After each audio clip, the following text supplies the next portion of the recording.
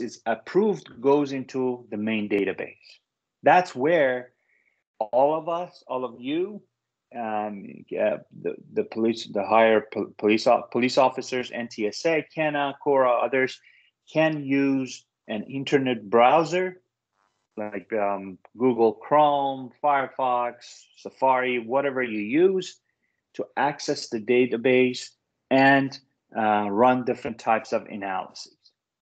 So that's uh, up to this poor part. So the first, um, so whatever you see left of TES server is the police um, falls into the police portfolio. The police collects the crash. And then this part is you. Can you utilize the data to uh, answer key safety questions?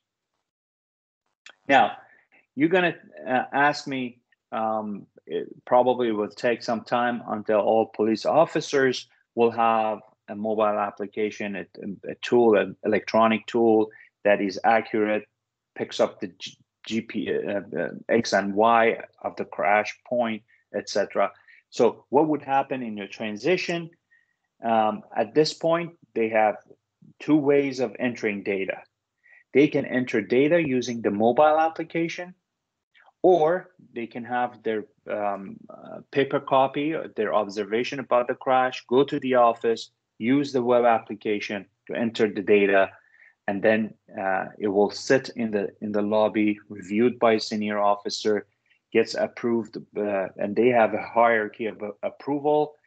Then the, the crash goes into database, and uh, users can access through the um, an inter internet browser and uh, do the analyses.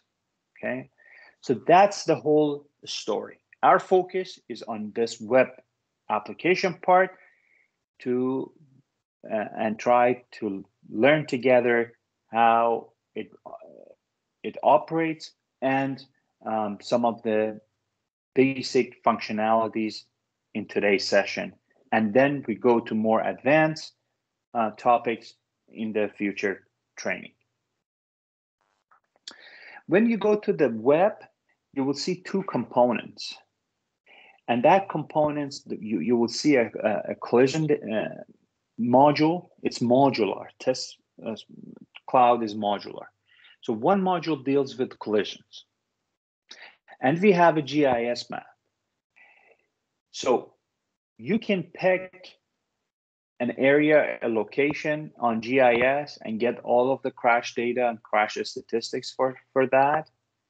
Or you can choose some crashes within the data grid that you will see and show them on the on the GIS map. So there's a two-way communication between crashes and GIS. So whatever you uh, use, basically you can choose on the GIS, see it in in a grid form, in a Microsoft um, Excel type area, or choose it in in that grid, show it on the map, and then um, you have also a variety of analytical tools like dashboards, um, ranking of locations, and also we have reporting capabilities. So you can run different types of reports uh, to see the details of crashes, to see uh, patterns and trends within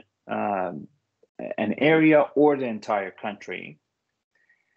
Uh, identify emphasis areas, uh, areas with the largest groups of collisions, so that we can go and address those issues right? Now, what are we expecting from this today? Today, we are trying together to first log into the application. Then we go through um, the TES cloud main, main page and see, look at different components. Greg will talk about that.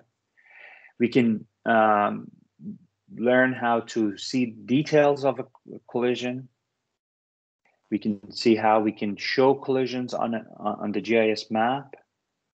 We will get uh, become familiar with the concept of grid, and that's uh, a spreadsheet sheet type area in TES that you can manipulate uh, data and uh, to to get what you're really looking for. For example, you can sort the data and filter the data.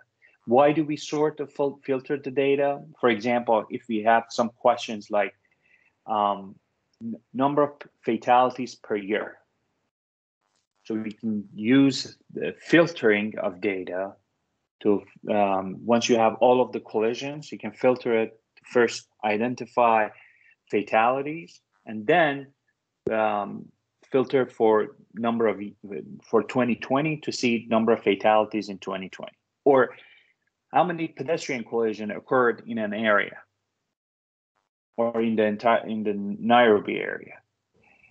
So we, we want to answer these types of questions. We can we can use uh, sorting, filtering, um, and also the pivot table capabilities that we have uh, in TES. We can export the data. We can learn. Uh, we will learn how to export the data into uh, a spreadsheet, PDF, etc. We we will learn how to run different types of reports to identify patterns and trends. So we want to know, for example, um, whether crashes are increasing or decreasing how many fatalities, how many injuries we have per year, where um, the intersection with the highest number of crashes. These types of um, questions can be answered by looking at patterns and trends, and we have reports for that. And how to run different reports, how to see, how to identify high frequency locations. So these are some of the topics that we will be covered today. And then there will be more advanced topics that are coming um, in, in, the next uh, trainings. So uh, in the advanced training session, we will talk about what's that? Is there any question?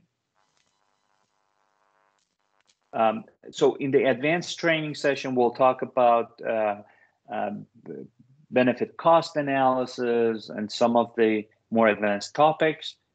Uh, in addition to the advanced training, we are producing short videos uh, for uh, Kenya, unique to or customized for Kenya on our TES YouTube channel. So we will provide you with access to, to, to that. And we will, after the trainings are over, we will have bi-weekly drop-in sessions. So we, we allocate um, an office hour that you can uh, drop in uh, and ask your questions. We will also cover a case study.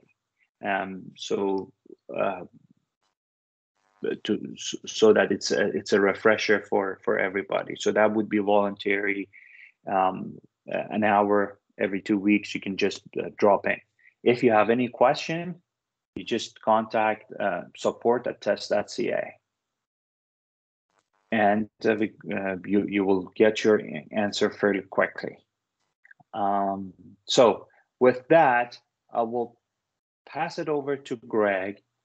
Greg will walk you through how you can access um, the application and talk about the, some of the main fundamentals. So I, I okay, I, I suggest you go to your browser on your computer at this point and go to cloud.tes.ca. Greg? Yes. Uh, hello, Pedram. Hello, everyone. Uh, as Pedram indicated, uh, advice, please go to uh, web and log in with your login and password into TES, into the clouds. Now, I will be showing you some basic Greg, functionality. Yes. Greg, Greg, can you open a browser and uh, type in where we go step by step? Okay.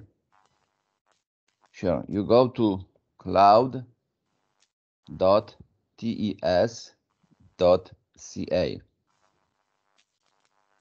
Cloud.tes.ca.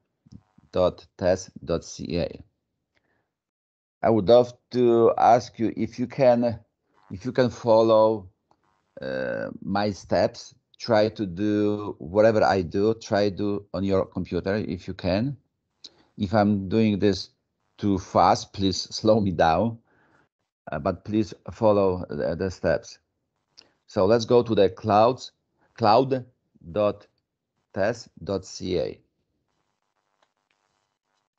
If you go there,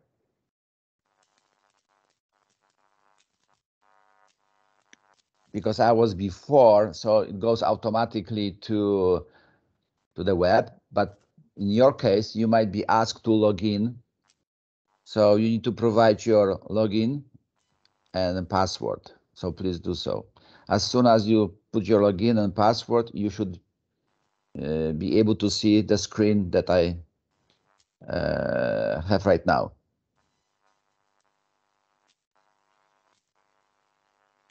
If anyone has any issue, please uh, let us know. But that's what you should see.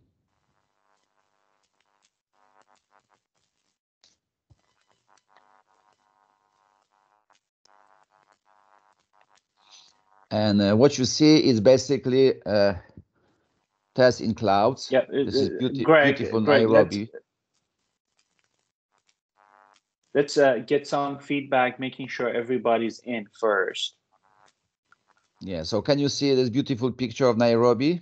Yeah, so just a minute uh, for everybody. You got your uh, login credentials. Your email, I think, is the login, and then you add a password.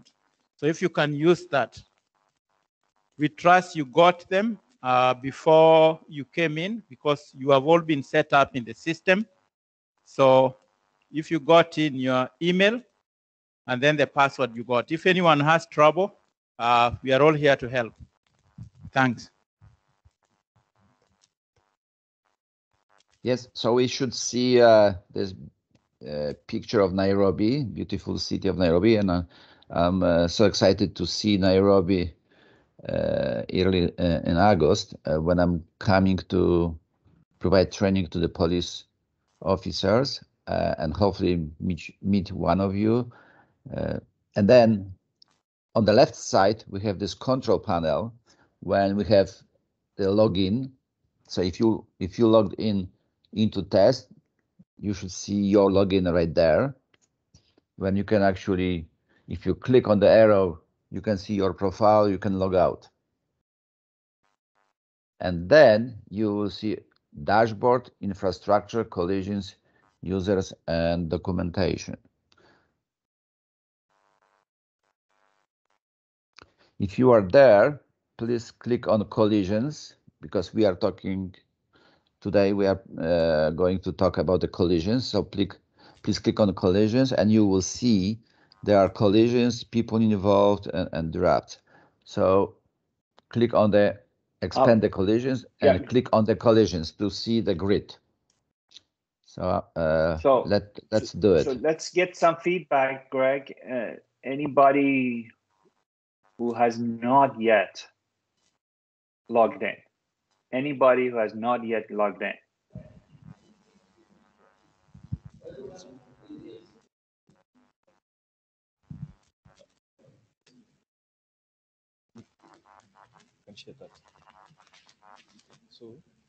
Is anyone who doesn't see the grid, the table on their computer screen?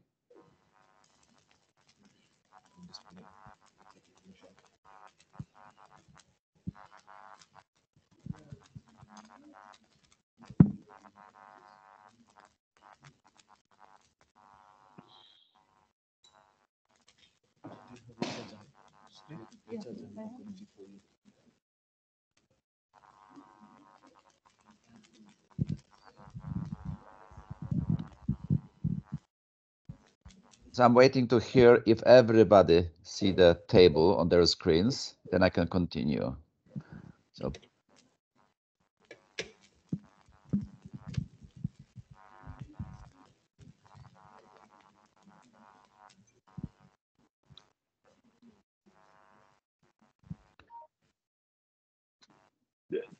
Tim, Aska, can you Yes. give us feedback where we are? Is everyone logged in? Everyone can see Everyone the table? Yes, everyone is now logged in. Thank you. And everyone can go to the collision and uh, please click on the collision to see uh, a table. Everyone should see a table now, by now.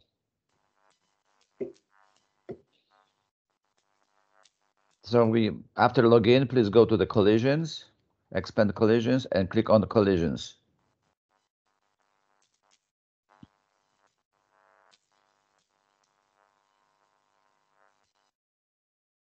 So after login, you should see the screen like that. You expand collisions, click on collisions and collision, and then go to collisions to see a table with all the collision records.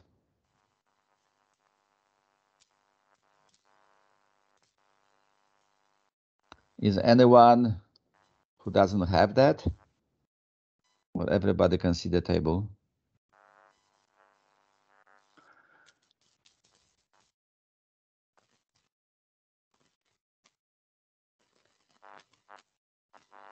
Should we continue?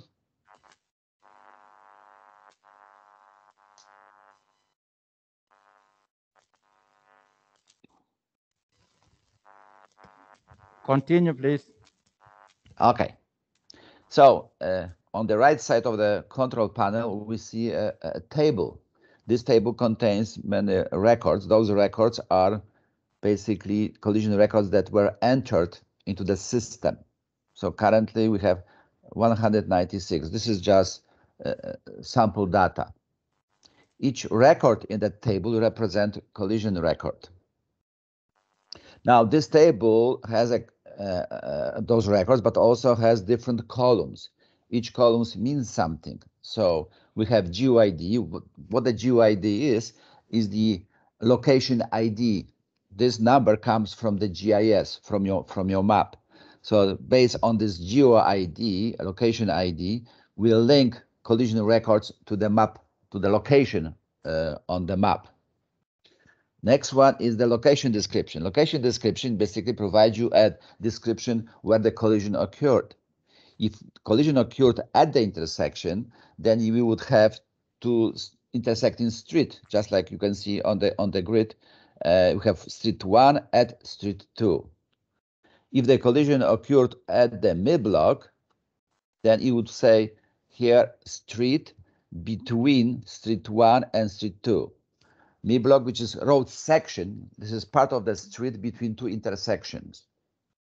So that therefore we have street name and then we have two limits for that uh, road section. And then we have uh, other columns. Now those columns, you each of you might see different columns. Those columns that you see on the grid can be modified can the, the table can be modified by each person what columns I see in my table. So if you click on that uh, column chooser, if you click on that icon, please please do so. Please click on the column chooser.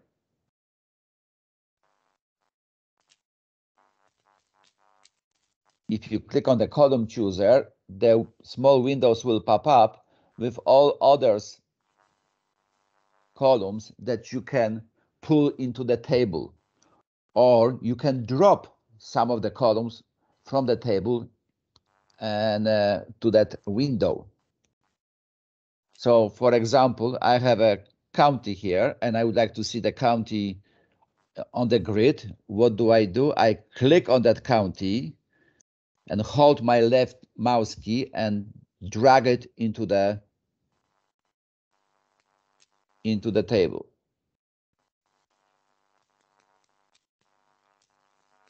I'm dragging and I'm putting right there.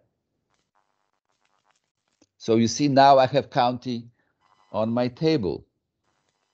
If I don't want to have any columns, is this is the the same way. I'm hold, clicking on the county or any other column, and I'm dragging back to that window. So please try to uh, uh, to drop one of the columns into the windows. So again, click on that icon, please. Click on the icon column chooser on the right side. Click on that icon and try to drop some of the columns or bring them back to the table. Now, this is done by user, which means that every person who is doing those things can have their own setup, their own view of the table. And this view of the table, it's being saved. So next time when you open TES, the view will be saved for you. So it means that every person can have different views.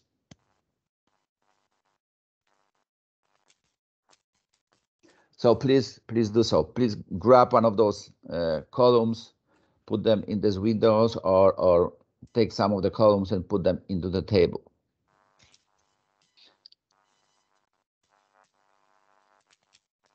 So again, we just click, hold what we want to move to the table.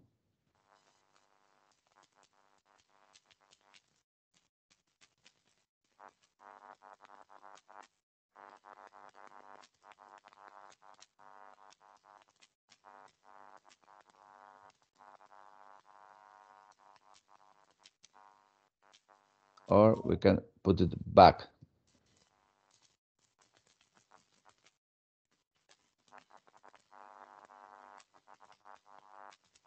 Is anyone uh, having difficulties to do or uh, are we fine?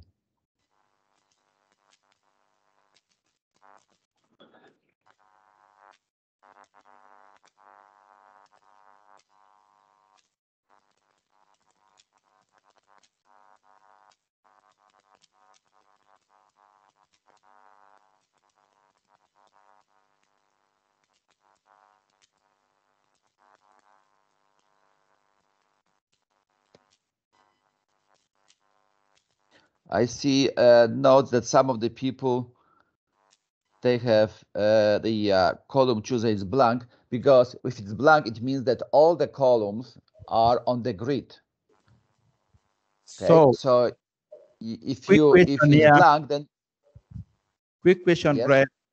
How do you revert it? Let's say you have uh, put everything in and you want now to get them back to default. So if if it's blank, it means that all the columns are on the grid. So let's let's do it. So if I put back all my all my columns here, right? If I take all of them, it will be blank, right? So that's why some of the people basically have all those information already on the grid. That's why it's blank.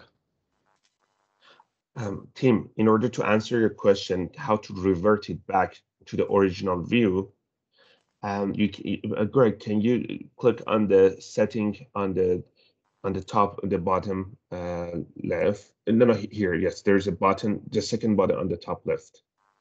The, the view manager. Let me request. Uh, yes, exactly. And click on that one, and you can see that you have a default view, and you can reset to default view. So then you click on that one and you automatically reset. Yes, please click on that one. And it will reset it to how it was supposed to be. You can use that one to reset or save your current column, the columns that you chose.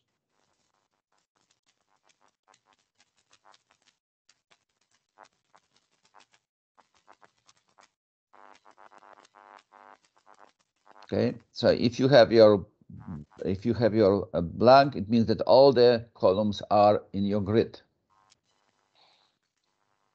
I moved some of them already to the column chooser, therefore it's not blank. So if you if you grab one of the columns and, and drag them, drag them here, it won't be blank anymore, right?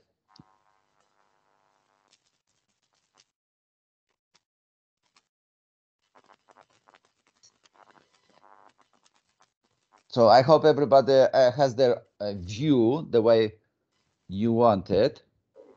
And like I said, this view will be saved, and next time you log in, you will see this the same view. Uh, just uh, a, a little, uh, let, let everybody get a handle of it a little bit.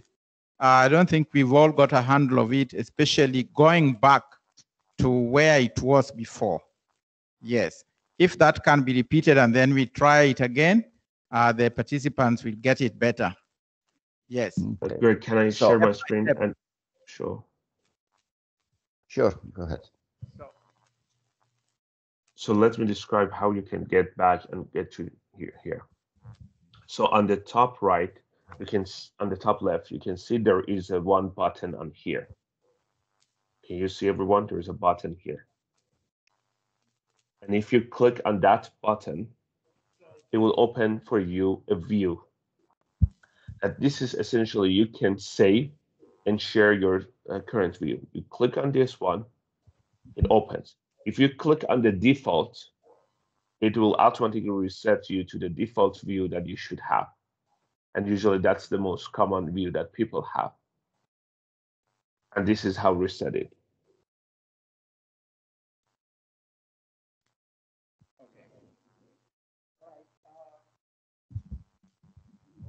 Just a minute. We are going around just to ensure that everybody has got that. Sure.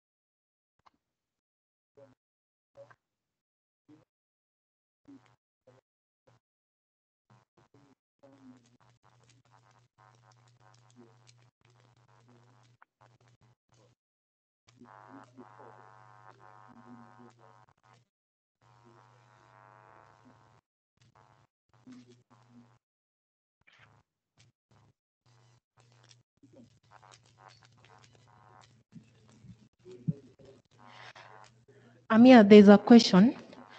Sure. When you go to default, you see two rows. Why are they two? And which What do you one you, when you want to restore the, the default settings? So someone, what do you mean by, so I can see it as each person will see different things based on what is shared with them. Okay. So you see that here, let's, So can you explain the concept here that uh, exactly, you can? that's, Uh, yeah, please. yes.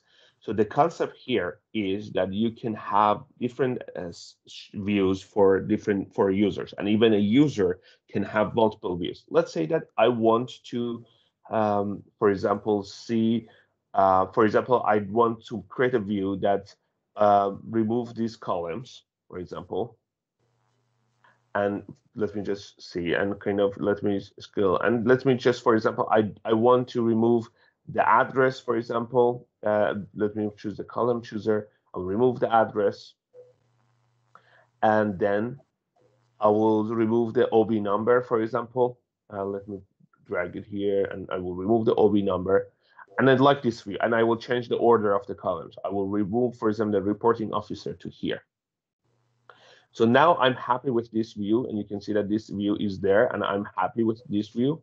And I want to save it for myself to do it in future.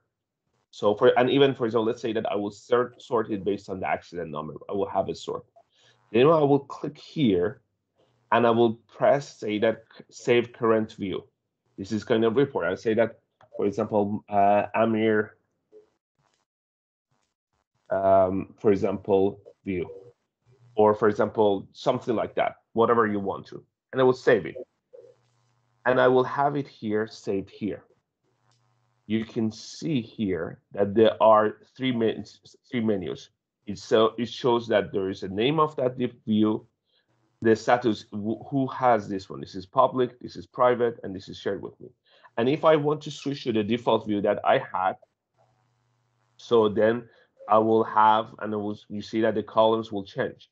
And if I click it again, and I want to go back to the Amir view, which has some fields removed and some fields added, and there was a sort, it automatically does that one, and you can see that these columns have been, and there is a sort on accident number.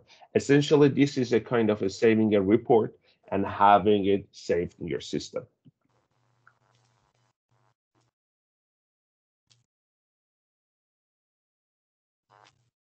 this is an advanced topic. I didn't prefer to talk about it here, but I wanted to answer Dr. Timokech's question.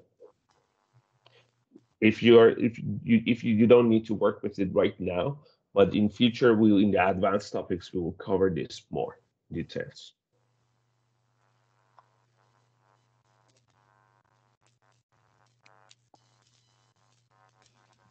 Okay, you can proceed. So I will stop sharing. I will give it back to uh, uh, Greg. So we have our views. Now we have our view. Uh, so we have different columns, the columns that we prefer to see on the on our grid, and each column represent some attributes of the collisions. Like I was saying, each collision is linked to infrastructure, to intersection, or to or to mid block. How do you know? How do we know that it's intersect that collision occurred at the intersection or mid block? So here we have this GeoID. This GeoID is the indicator of the location. It has ID that is linked to your map. And intersections, intersection ID, it's all always starts with INT. So we have this INT uh, underscore and number, another INT underscore number. So if it's INT at the beginning, it means that it's intersection collision.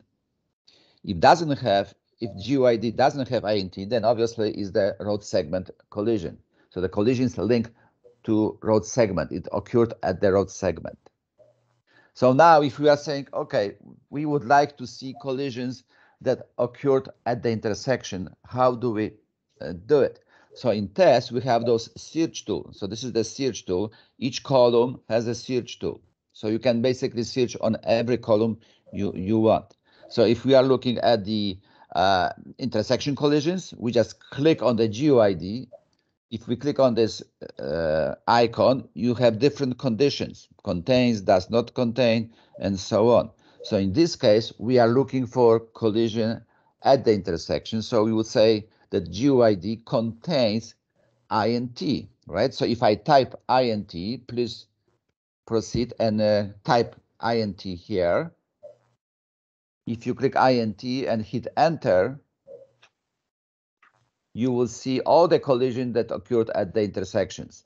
So please go to the column GeoID and type INT. Greg, we have a comment that uh, uh, your your the fonts on your screen is are not large enough. Are you able to um, maximize your browser or uh, Mm. change your zoom? Yeah, I try to uh, make it, uh, try to make my uh, mm, display settings. Greg, I suggest that if you change that one, it will change your screen resolution. It's, I'm not sure it's the best idea. I think try to zoom in in the browser, and I think it will make the fonts bigger. Um, so can you go ahead and uh, to the browser and on the top, oh, press yes, go and zoom in a little bit further. It will make it larger, and even on the top right side, yes, on the top right side, you can see that um, the, uh, make it larger a little bit.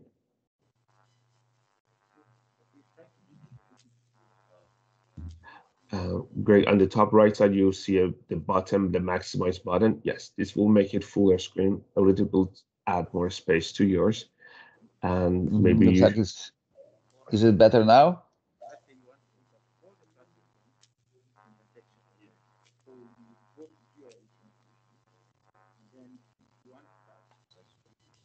Hello, is it better now?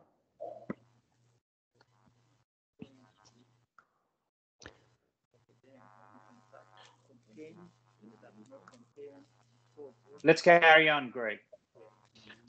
Okay, so I hope that everybody was able to type INT uh, within the GeoID search, and we have all the collisions that occurred at the intersections. Now this filter is right there on the bottom. So if we want to see all the collisions, we can just click clear on the right side on the bottom, and now we have all the collisions displayed. And on the bottom, we can see number of those collisions. So we have 196 collisions uh, within our table. What else we can do with the uh, with our table? So we can search by the GeoID with the talking about the intersections, or let's say we would like to see uh, fatal collisions. So we can again go to another column, which is accident severity. If we click on the uh, search tool right here on the left. Please click on that.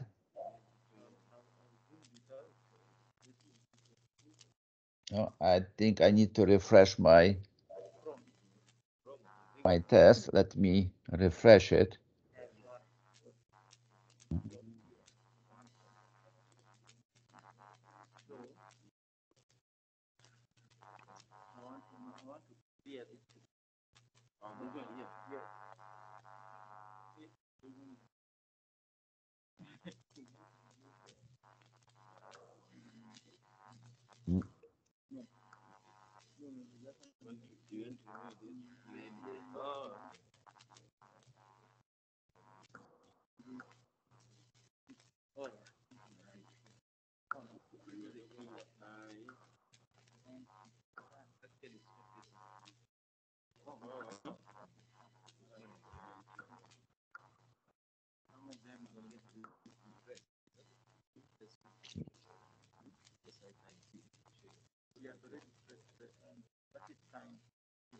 thank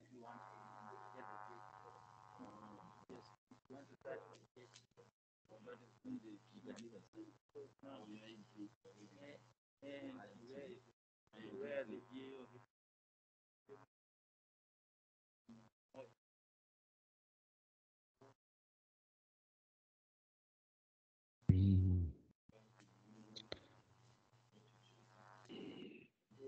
Amir, I guess I need your help here. Sure. I refresh, but still it's not showing me.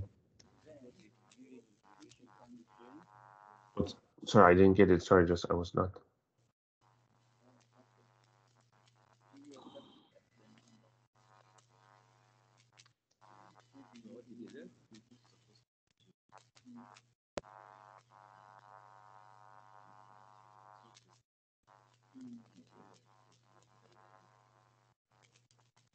It's not showing me all the Uh, severities. Press Control, please. Uh, press Control F5.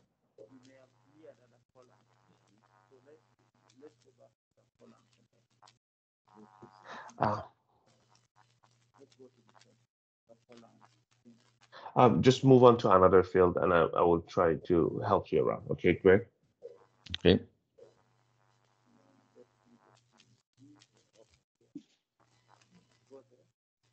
So let's say we have 196 uh, collision records. Now the question is, which location has the highest number of collisions? Which location has the highest number of collisions? So how do we find those things? We take the uh, location description uh, name, the column name. We click left click on that column name and we drag it above the table. So now when we drag it, what's happening is the TES will show us the collision, uh, the location and number of collisions. So in this case, we have nine collisions that were not assigned to any location, but the next one is the location with the six collisions. And when we expand, when you click on that arrow here, we can see all those collision records. So please do uh, the same thing what I did. So please grab the location description column and drag it to the area above the grid. So can you uh, explain, uh, Greg, why We are not and how- seeing what you're doing. Can you do it slowly so that uh, the participants see what you're doing? Let's let's go back. So the question is, which location has the uh, highest number of collisions? Right, because we have 196 uh, records, and the question is, okay, uh, which location has the highest number of collisions? So we can see which location is the possibly the most dangerous location. We want to find the total number of collisions for that location. So what we do, we click on the location description column name. So we, we are looking for the which intersection has the highest uh, number. location, which Yeah, which which location which location has has the the highest highest number of collisions? Okay, Yes, so which- we can which location? Is doing. So the question is, which location has the highest number of collisions? So we move mouse above the location description. We click left key on the mouse and hold it. We hold this. So by holding this mouse, we can drag now, we can drag this column name to the area above the column, uh, above the table. Okay, so we are grabbing and putting in this area above the table and release.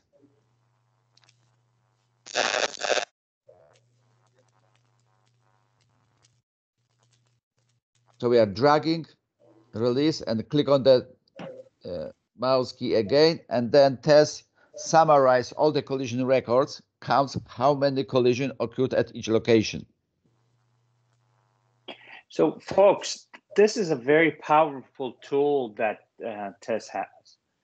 Whenever you want to summarize based on one of the columns, you can use this uh, group by box. So, this was one application.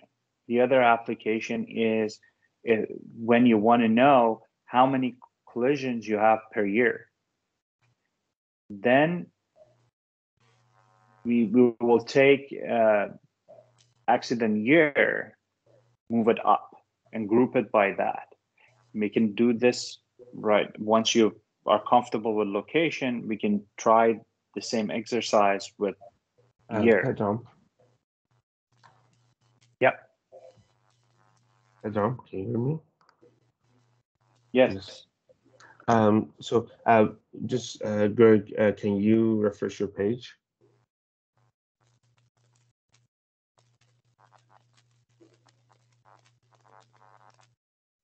Press control, control refresh, but that's fine.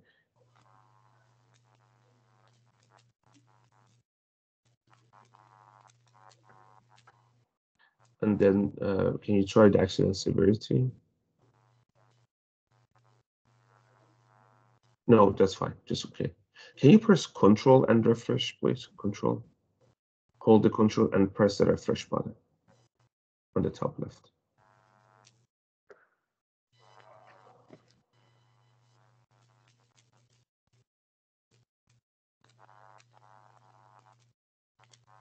That's good. Uh, so, and that's all. Um, so that's it. Please continue.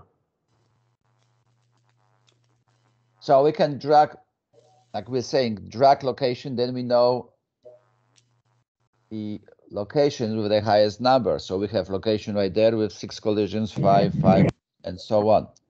You can use any other column. So let's say initial impact type or severity. You can grab it, put it here.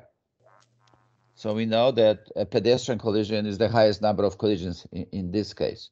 Or we can take it and say accident severity. So we have number uh, of collisions uh, with uh, severity. Also, we can do multiple grouping. So we can take uh, accident year Greg, and uh, Greg, Greg. yes. Sorry, let's let's get some feedback. See how people are doing.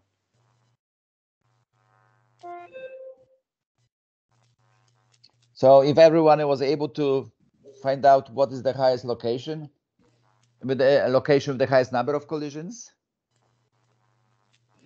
Uh, give us a little more time. Sure. So again, you just grab the uh, column name to the area above the grid, above the table.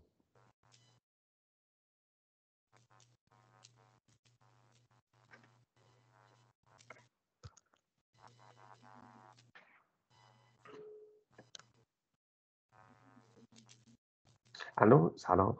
یه سال چرا اینجوری میشه؟ بعض وقت درسته بعض وقت درست نیست.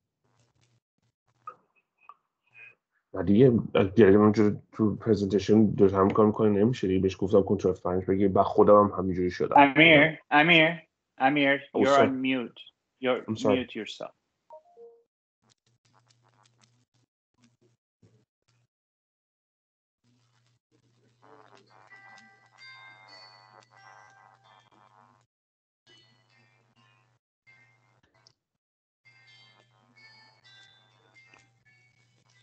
So let's drag the location description into the uh, area above the grid. So now we are grouping collision records and we are counting number of records for each location.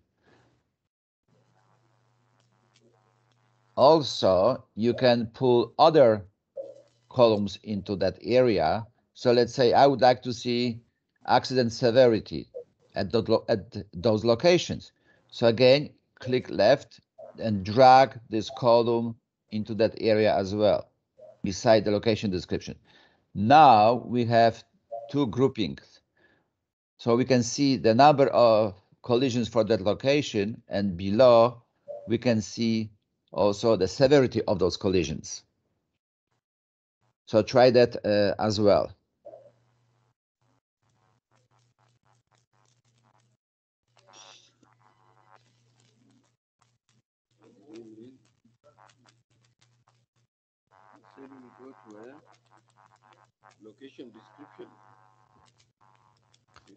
Yes, so we drag location description into the area above the table. And then next, we drag accident severity into the gray, into the area above the table. So now we have two groupings, one by location and also by severity.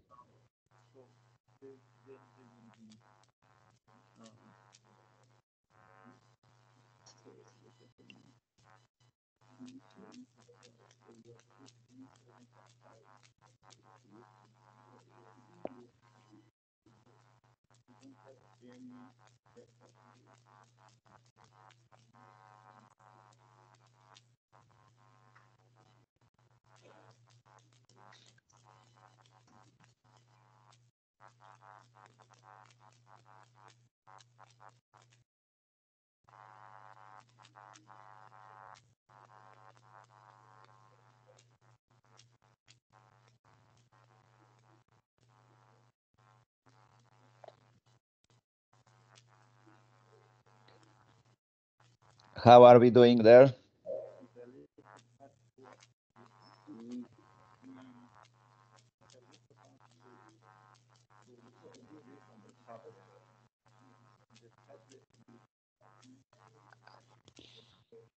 Aska, can you walk around the room and see how people are doing let us know?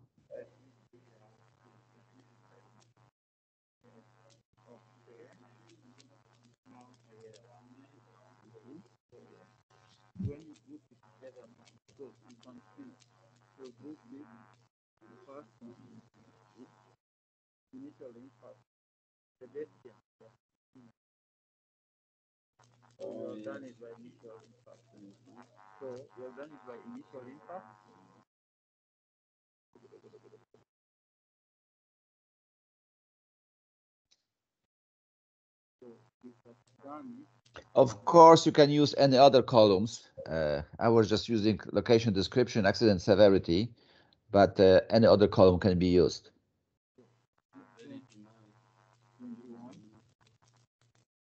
So we can take, uh, let's say, accident severity. I can take initial impact type.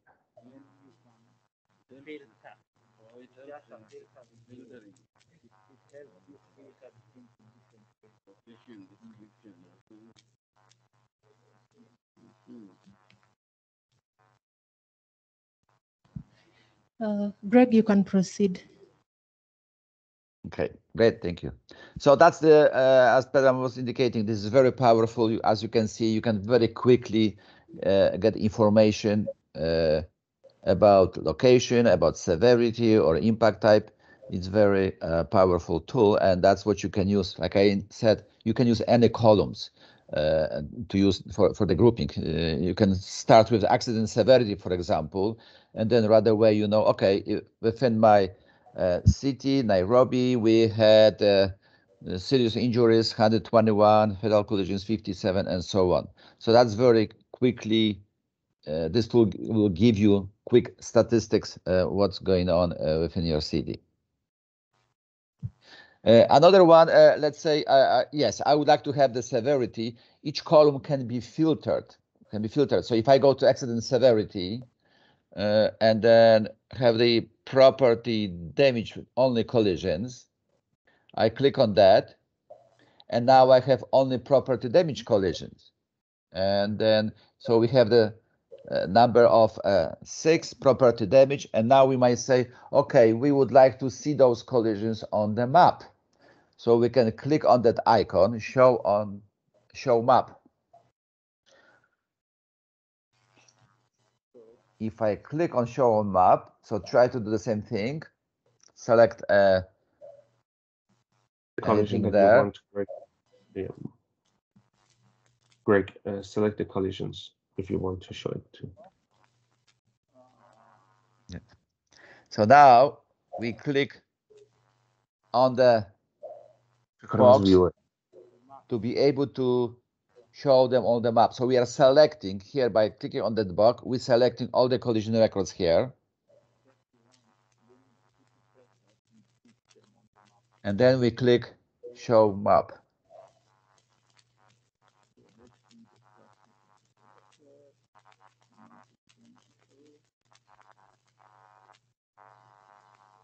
If we click show on map,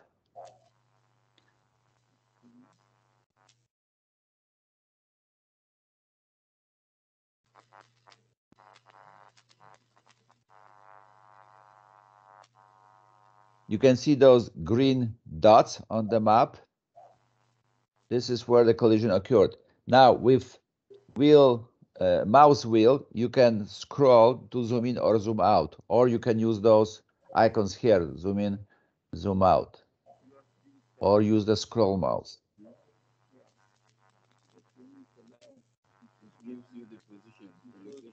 So please proceed.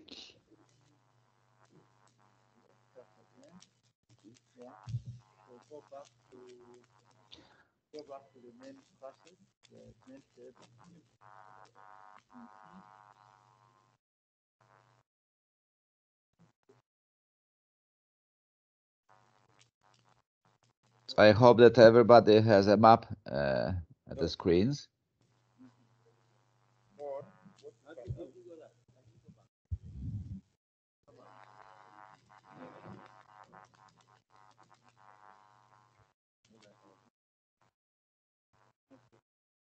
So we can see on the map where those collisions occurred that we filtered.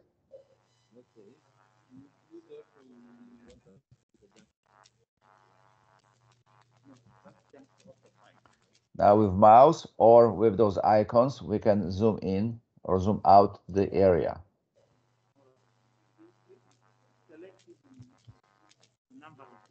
Now, if we click on those one of, on one of those uh, dots, green dots, left click. If we click, it means that we are selecting this dot, we are selecting this collision record. And if we want to see any details about that collision, it's a matter to click and click on the show, show collision detail.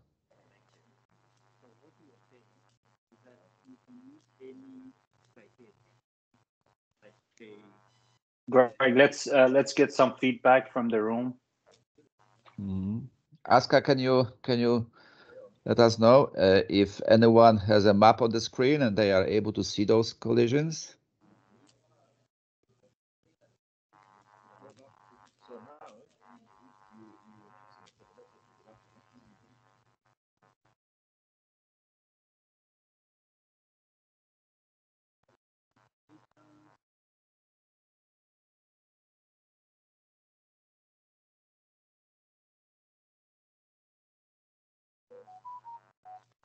Anyone was able to to get to that point?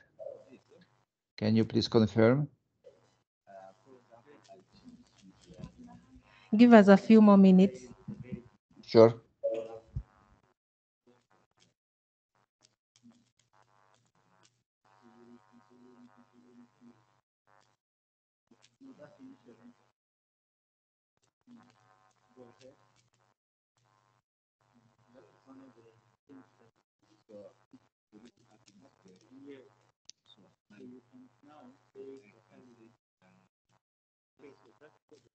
Greg, we can see your screen.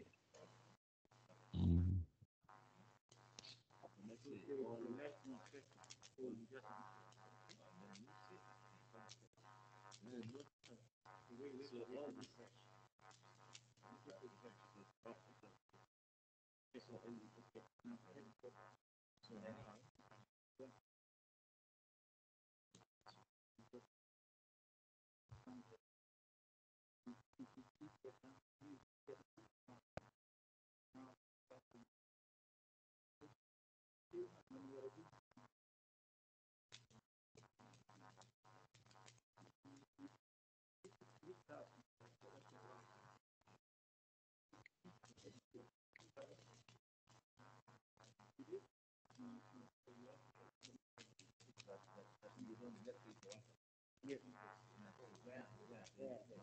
Yeah.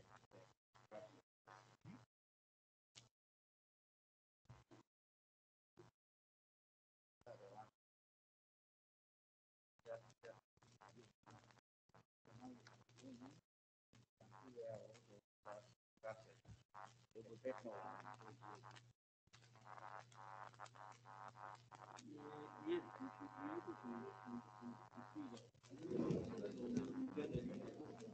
It's still loading.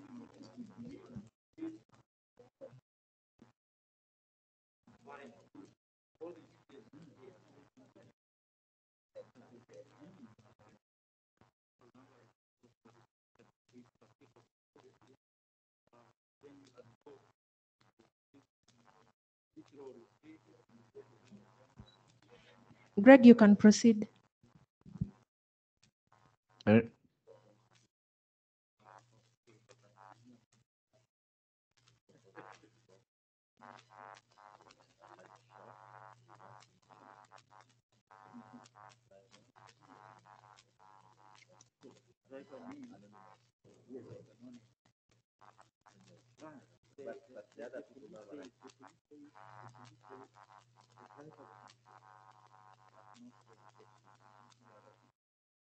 Uh,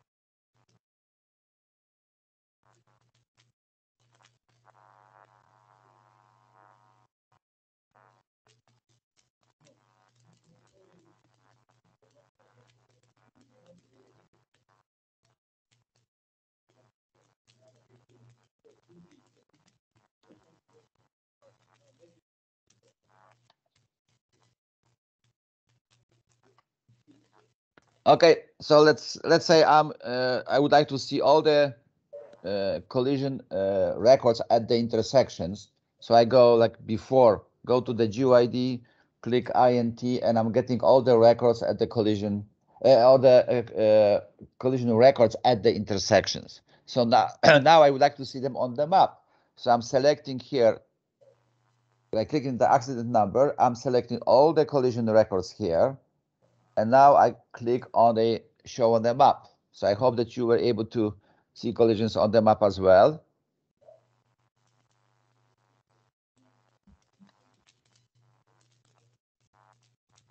Now I see those dots uh, all around the city where the collision occurred. Now, when you zo zoom in by uh, by the uh, wheel on the mouse, you can zoom in or zoom out. So I'm zooming in to one of the area I'm interested in.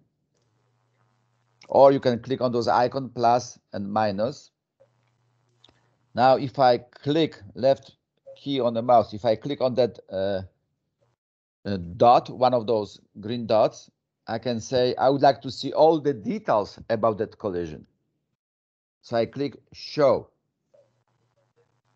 When I click show, now TES opens that collision record,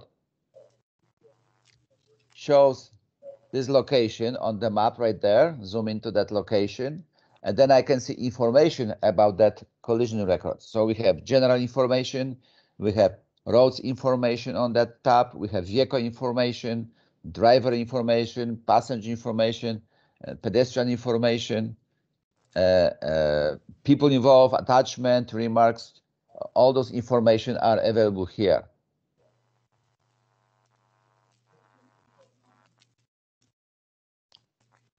So please, please uh, try to to do it.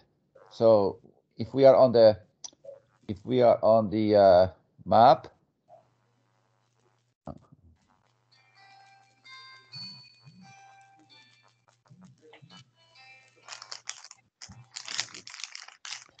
we, if we filter our collisions, click on the box to select all those records, click on the map, show map.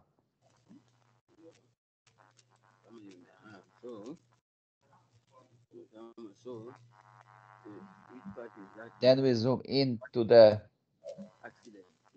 location that we are interested in. We click on the green dot and we click on show to see the details about that collision.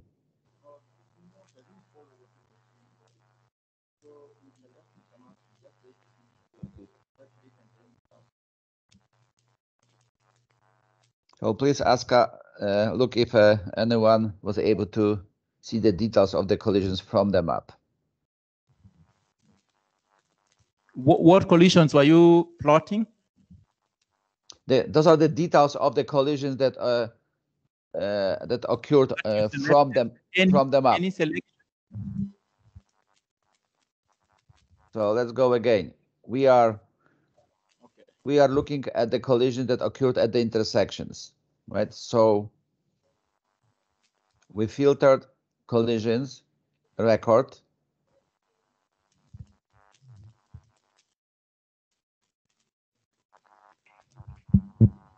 So you can filter any uh, about anything. You just filter the uh, grid for the collision that you, that you are interested in. So I filtered the intersection collisions. Intersection collision. Yeah. So with the GeoID, if you type INT, you will see only intersection collisions.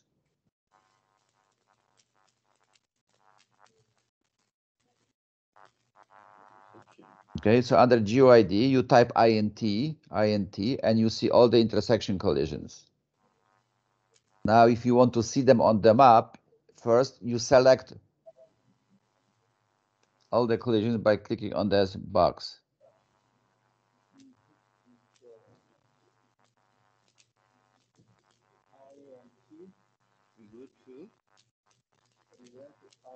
If you click on that box, all the collisions will be selected, which occurred at the intersections because the filter was intersection collisions. and then we show them on the map, right? So we would like to see where collisions occurred at which intersections the collision occurred.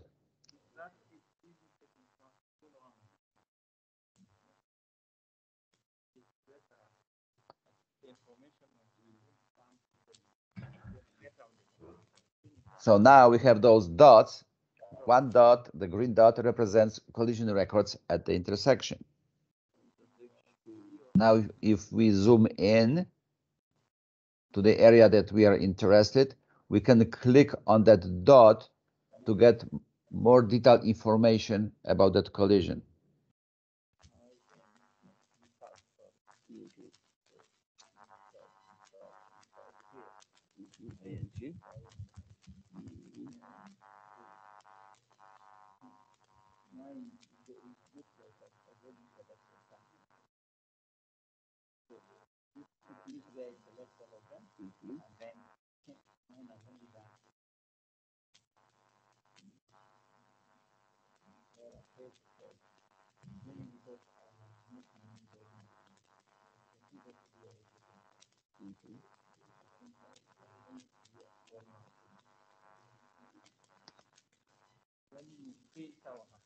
Mhm. Mhm. Go to default, all of them.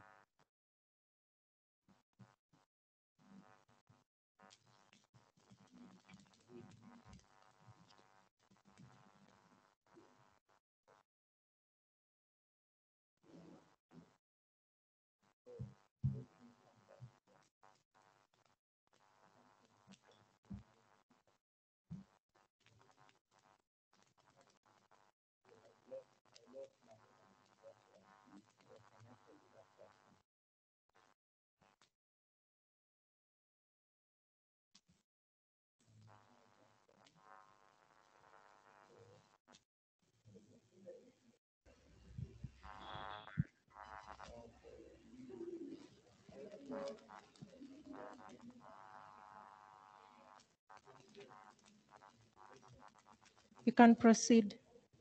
Okay.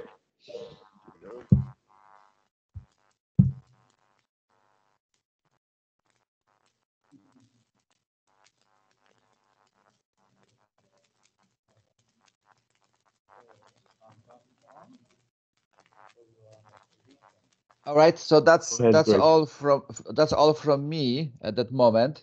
So maybe let's have a a, a break, and then uh, Amir will continue the more sophisticated analysis.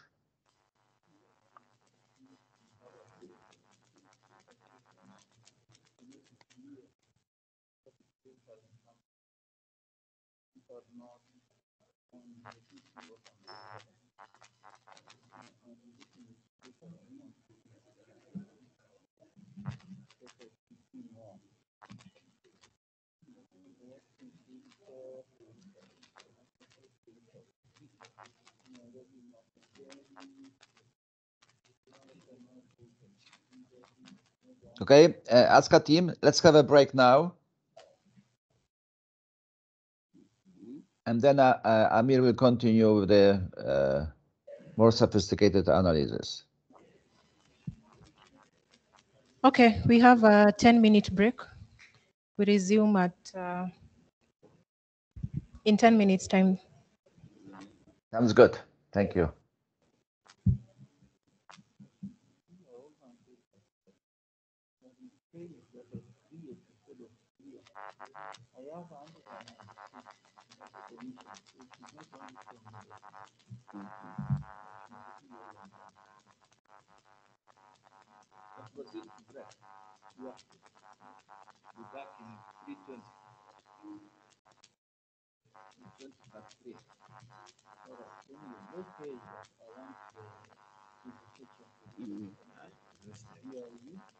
here, you,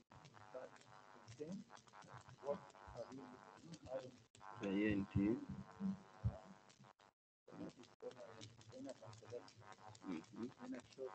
On the map, huh? Okay. Mhm.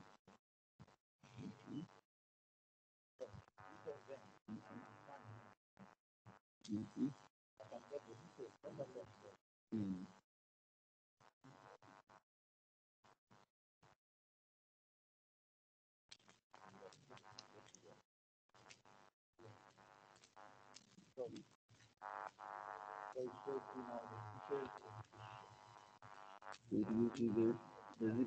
it on a registration number of the vehicle produced?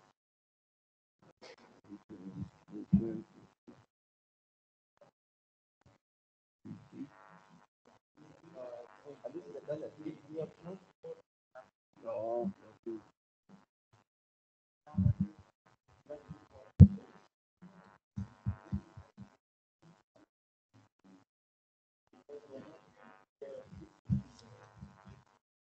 So now it gives you the type of vehicle to the vehicle truck.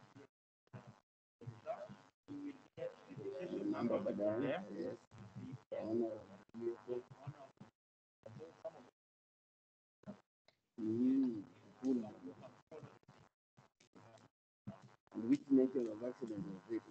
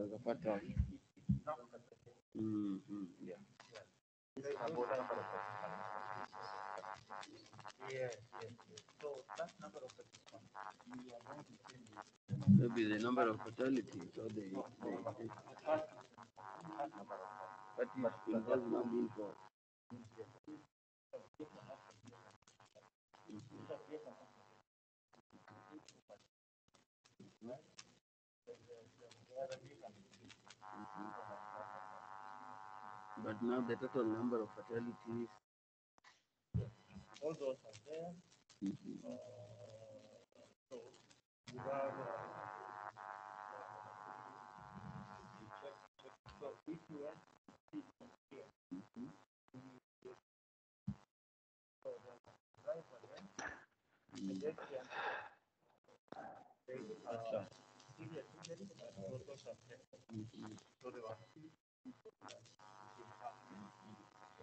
driver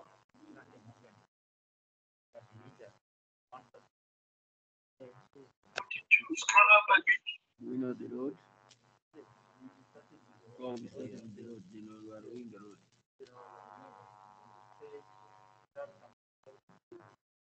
Mm -hmm.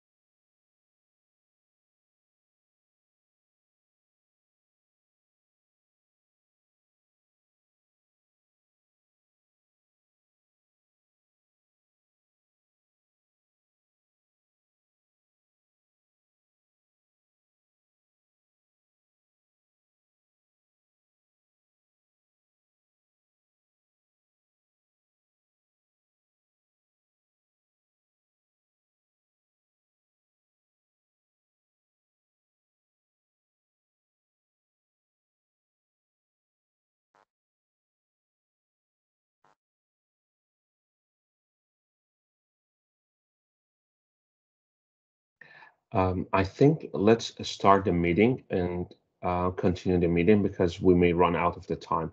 So we want we don't want to rush at the end. Uh, Dr. Timokech, Aska, um, are you there?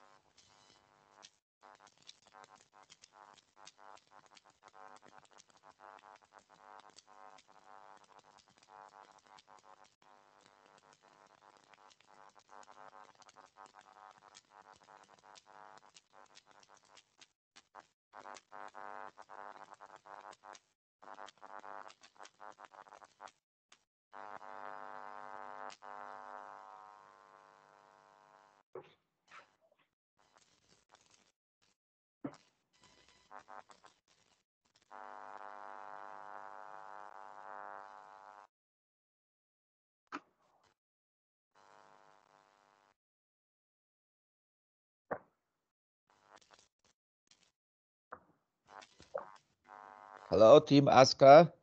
Should we continue? Can you ask, uh, please, people to go back to their computers?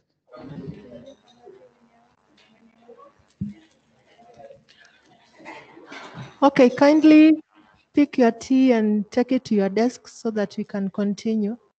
Great. Yeah, we are a little bit behind the schedule, so will be good to, to start uh, very soon. Thank you.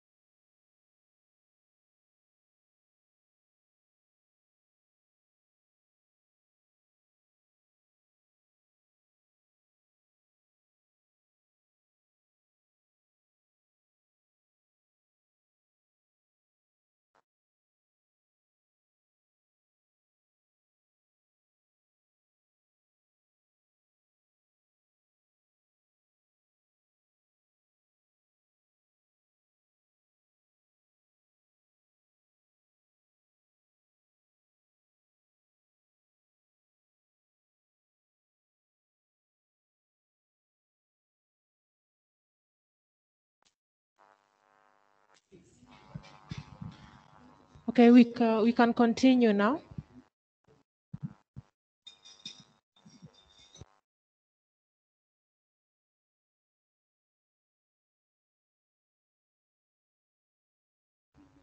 Great. Hello, everyone. Uh, my name is Dr. Amir Zainbal, and today I'm going to um, help you to uh, go ahead with your TES application and um, and try to do some advanced analysis on your data on collision data. So everyone can hear me? Yes, we can hear you. Awesome. So let me share my screen and let's start uh, to move forward. So before I start to dive in, I will start the presentation. I will try to show you some of uh, some concepts that you may be already familiar with, and I'm just um, um, talking about it. So first of all, I want to talk to you about the collision module. And in the collision module of TES, as you can see, though, if you open any collision record, as was Greg was describing, or you may already have opened one of your collisions, you will see that there are some fields that are obvious, like date, accident date and time, accident number, uh, but there are more into that one, and there are some new fields that has been added to P40Y, P41 uh, because the, we need some additional information for safety analysis analysis of what was causing fatal or injury collisions. And here, I'm having the, the list of the properties that you might be interested as a safety engineers and you, and, and you want to investi investigate the collisions based on this information. So as you can see, the first important, beside the location, you already know the location and the location, each location has um, uh, GeoID, as you can see it in the GeoID location. But the other important part is that um, if the, the police fills it up and uh, or you can see it based on your GIS data that all the locations you you can understand if if it was an intersection related collision or non-intersection related. And that's really important so that if you're doing some investigation on your network you know that if there are some problems in in the areas in your network and the and the problem is is in in your intersections or or in road segments. And the treatment of diff are different. For example if you have for example you see you can see that in an intersection you have lots of collisions then and you go and investigate and see that there are lots of collisions the cars that they have angle collision. Essentially one will cross one uh, going northbound and the other one going to for example westbound and they will hit each other so then you may need to install a traffic signal or you maybe need to adjust the traffic signal or you may need to red you install a red light camera it's different than when you have a collision at the in middle of the mid block because, for example, the speed limit is not right, or maybe the visibility is poor, or maybe um, the friction of the surface is not right. So this is a different uh, treatment that you need to do. And uh, I think you need to, first of all, you need to understand that it's really important to distinguish between the location based on the um, intersection or non-intersection related property. The second important property is the severity, and I believe as a as, uh, transport as a transportation engineer and as a safety engineer, most of you are uh, familiar with that one. So usually there uh, there are three categories of collisions. There are either injury injury collisions, uh, fatal collisions, and there is PDO or property damage only. In the fatal collisions means that there was at least one fatality in the 30 days after the collision in that uh, related to any people involved in that one. And in injury collision means that there was at least one person in that collision um, that has um, an injury. And PDO, property damage only, means that there was uh, damages to properties, which means the vehicles or infrastructure. And it's really important so uh, to understand the concept and how to apply it. And later on, we will go and do some hands-on experience on that.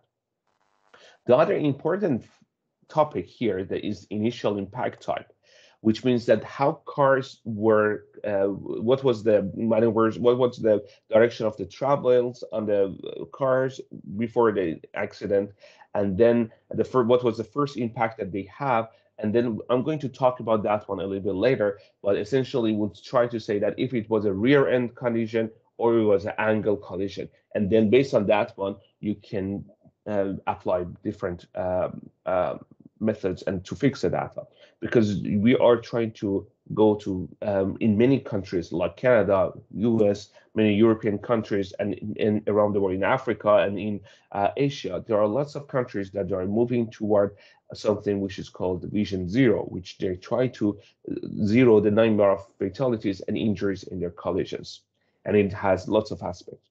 The other important is the driver maneuver. So what was the driver doing before uh, um, before um, before the accident? Uh, what was the maneuver of the driver? And what was the driver condition? Were, were they distracted? Were they drunk? Or they were under, uh, for example, um, influence of, uh, for example, they were unattended, they were checking their phone, or they might be doing some uh, other stuff, or they were driving normally. So this will have lots of effects. So for example, if you see that the driver maneuver, for example, driver condition, for example, before was drunk and you have lots of drunk drivers or dr drivers under, under um, for example, under influence of the drugs, then you might need to have better enforcement in your network. You may need to have um, some, um, for example, uh, training sessions for drivers, or you may need to have some uh, penalty point system that try to prevent, uh, for example, collisions. Uh, and for example, in Canada, um, for the young drivers, um, there was lots of uh, young drivers that they were under influence of drugs or um, uh, alcohol. And the solution that they introduced was they added some policy system so that it, they call it the zero tolerance. So if they, uh, if they, if a police um, um, caught a young driver with um, um, alcohol in their blood, um, their cars may be impounded immediately and their driver's license will be suspended and there will be lots of demerit points associated with them. So that's why it was implemented. The other one is the same for pedestrian. Are the pedestrians are attentive to the roads or they were they were checking their phones? And what was the pedestrian action? They were crossing at the crosswalks or they were just crossing at the middle of the streets. And if that's the case, we, we need to maybe have crosswalks, maybe we need to have for example, uh, pa uh, pedestrian passageways and all those kind of things. And another part is the vehicle type. What was the vehicle type? For example, if there are lots of buses in the collisions or there are truck drivers that are in the trucks, then you need to you need to investigate that one and understand if you need to have, for example, speed limiters on trucks you may need to have GPS trackers on the trucks, or you may need to have additional trainings for truck drivers or uh, track their uh, driving hours, for example, so that if they are fatigued, uh, they're, they're really fa they're, they're fatigued and they're not driving, and you need to make sure that's happening. On the topic of the initial impact, it is something new for you, and we're going to describe this one for you, and then for the police officers and the other safety people as well. It's really important to understand the initial impact type, and this is one of the key information in the collisions. And the first one is, we call it, uh, it the initial impact type is describes the general path of vehicles immediately before the first impact.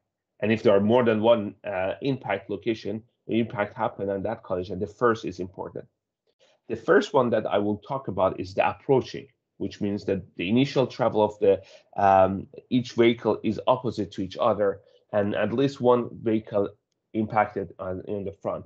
And this is also called head-on collision. Essentially, for let's say that one vehicle is going from uh, north to the south, which is we call it the southbound direction, and one vehicle was going from uh, north to the uh, sorry south to the north, the northbound one, and then they hit each other um, in the front, and that's called the initial the um, approaching or head-on collisions. And as you can see, here in many collisions and many literature, you will see that they will represent by a uh, shape in the diagram. So you can see that the cars are represented by an arrow. An arrow shows what's the direction of the travel. So you can see this car is moving from north to the south. So this is southbound direction here, this car. And then there was another car involved in this collision and it was moving from uh, south to north, and that's here. And they collided in the front. You see that this circle shows where they collided, and you can see that the S1, this is because both of them the uh, they were going in the opposite direction. It's called um, approaching. Similar to that one, there is an angle collision. An angle collision is that when one vehicle was going from, let's say that, for example, eastbound, and it was going to the east, for example, and there was one vehicle going northbound, and they hit each other uh, and, and the 90 degree. Um, so this is called angle collision. And um, as you can see on the diagram, one car was going, for example, straight, uh, on the going, of going west uh, westbound, and there's one car going northbound, and then they hit each other.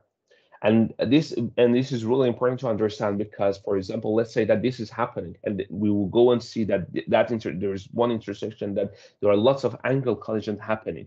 The meaning will be that there are you need to apply some uh, maybe if there's no traffic signal there, you need to install traffic signal there.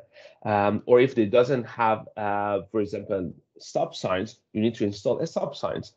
And if this this is still happening with those one, you may need to install red light cameras, or maybe you need to check the friction of the surface, or you need to check the traffic signal timing. Maybe the amber time is not enough. Maybe um, the uh, the viewing angles are not right. So that's why it's really important. The other one is turning movement. Turning movement means that one way the those vehicles were uh, were uh, traveling in parallel directions. For example, one was going uh, northbound and one was going uh, southbound, and then uh, one of them wanted to do, for example, a right turn, and they hit each other, and they call the collision. And you can see that there is a difference between angle and turning movement. In the angle, they were first they were traveling uh, in perpendicular to each other. But in the turning movement, they were initially uh, traveling the same direction. So when that happened, uh, it means that, for example, one car was trying to do a right turn and the other one was hitting the other car. It means that, um, for example, maybe you need to have a protected left turn, uh, right turns or left turn uh, lanes, and you can have a protected um, uh, signal timing in your um, uh, signal timing. And then you are going to have uh, the other types, which is the side swipe. Essentially, the cars will hit each other on the side. Rear end is that the cars will hit each other on the back of each other. Um, and then you have the single motor vehicle, which essentially the car will hit one static object. You can see that here, one vehicle is moving. There's one static object there, and they hit it, hit it at this point. And then we have the single motor vehicle other, which one vehicle uh, hits, for example, with a fixed object like a pedestrian or animal.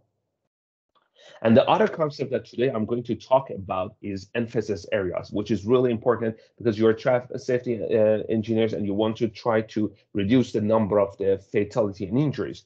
And usually we call it emphasis areas, and it's, it's just a concept in road safety planning. And usually we try to group collisions by certain characteristics, like, like what I talked about, the intersections.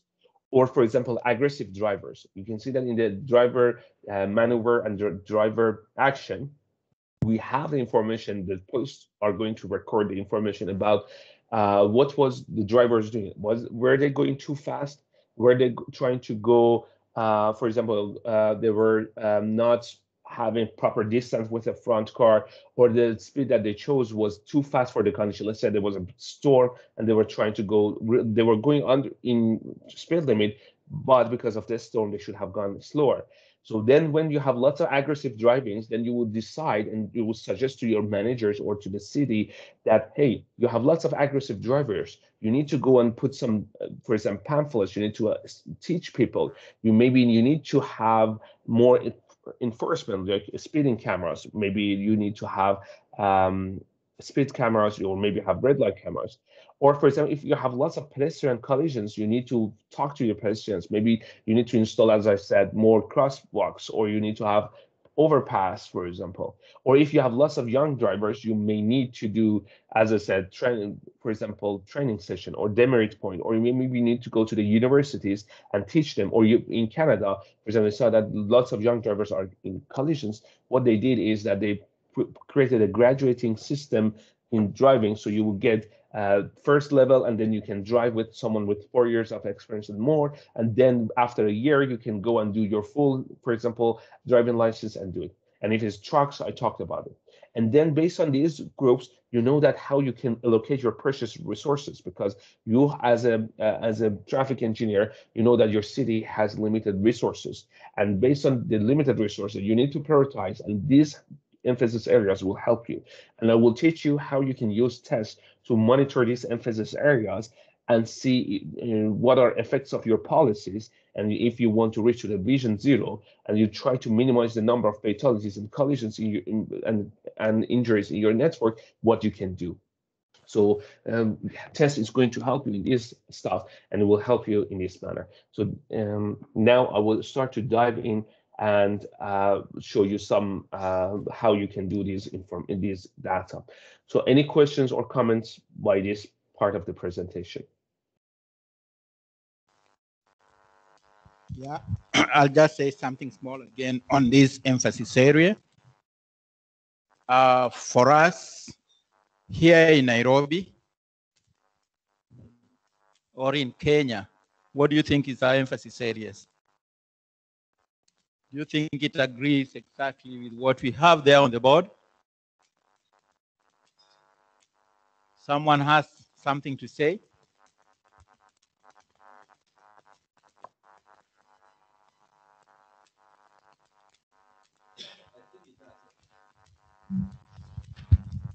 Well, um, yes, I think the area of emphasis, as you talked about in terms of um, uh, largely tax on those areas, location, action, vehicles, and, and, and I think you've indicated some.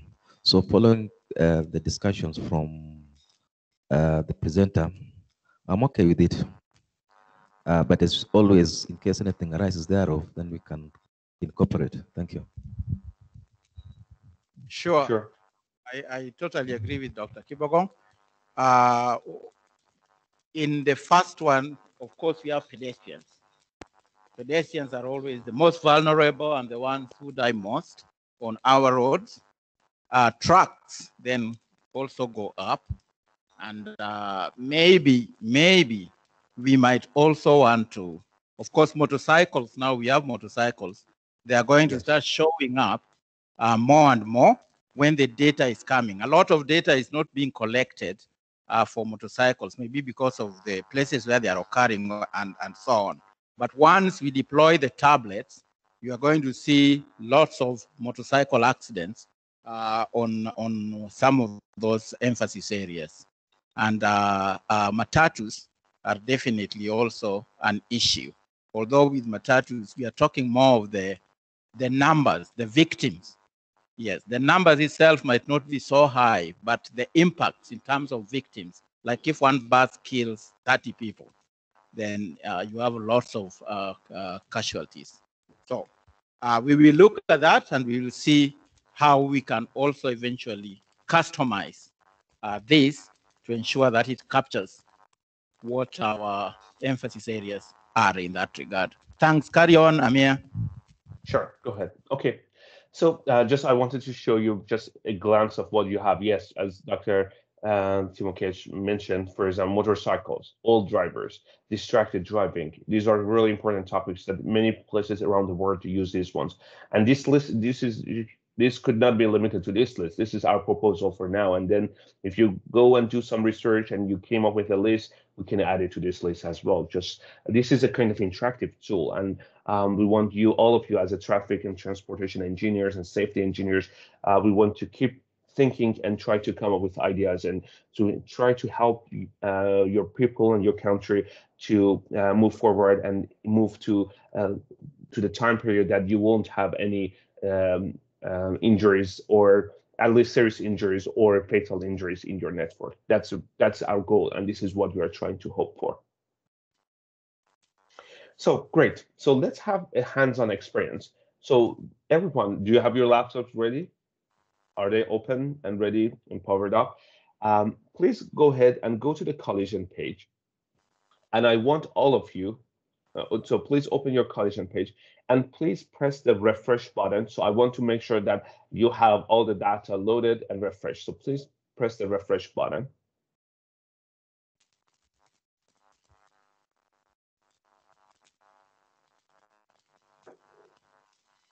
Did everyone did the refresh button?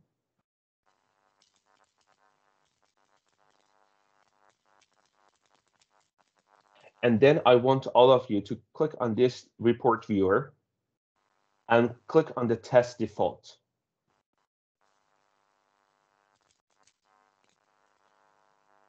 So I want all of you to see the same thing that I'm seeing here.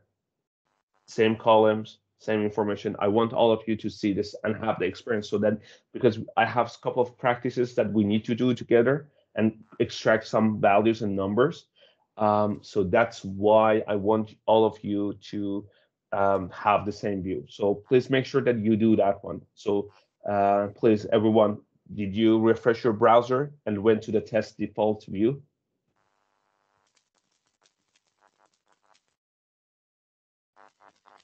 If you have any questions or comments, please ask uh, um, um, people in the room so that they will help you.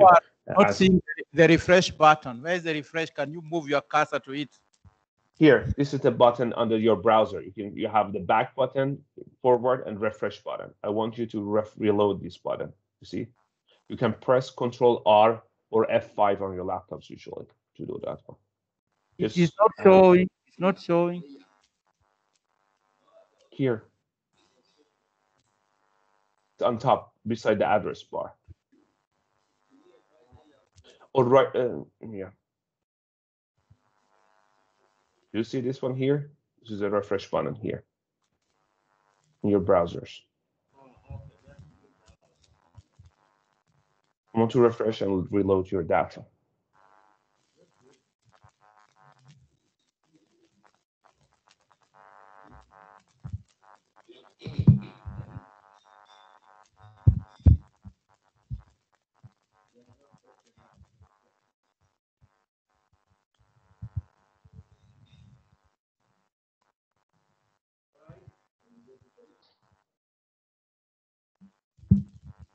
To uh,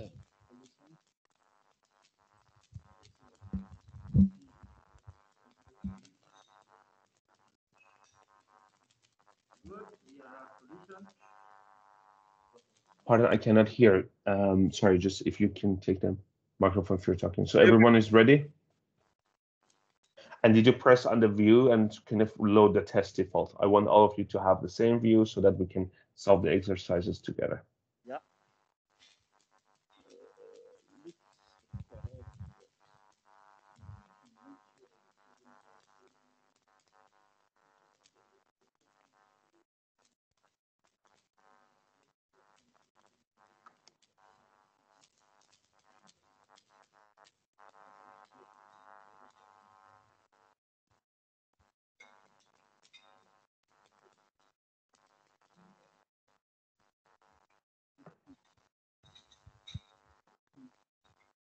Should I proceed, Dr. Timokech?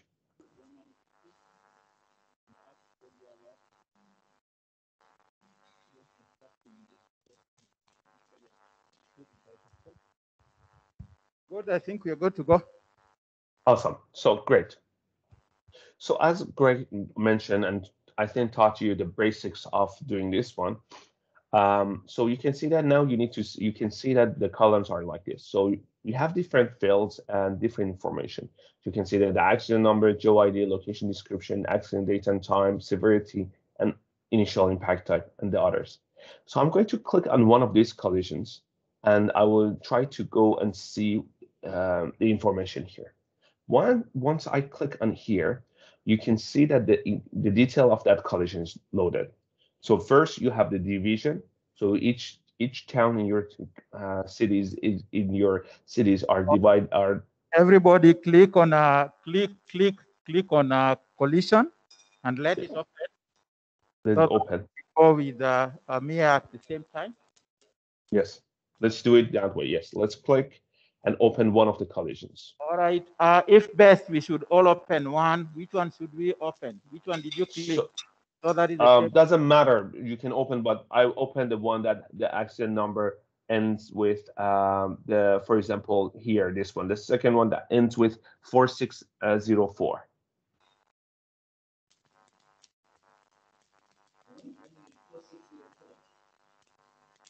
But doesn't matter. You can open any of them. Yeah. This is a general information. information It's not. click Yes. So I'll click on that one and you can see that it's showing that first, what's the division? And you can see, say that Nairobi, um, Kasarani. It has the accident registration number. This accident registration number is the number that police generates, but essentially, as you can see, it includes the unique number for that accident. And if you want to talk about it with someone and, for example, refer to an accident, you can mention this number and this number is unique. And essentially, it is you start with the date that this happened and some other numbers related to that one. It shows that which county is doing this one. It, you can have the county there.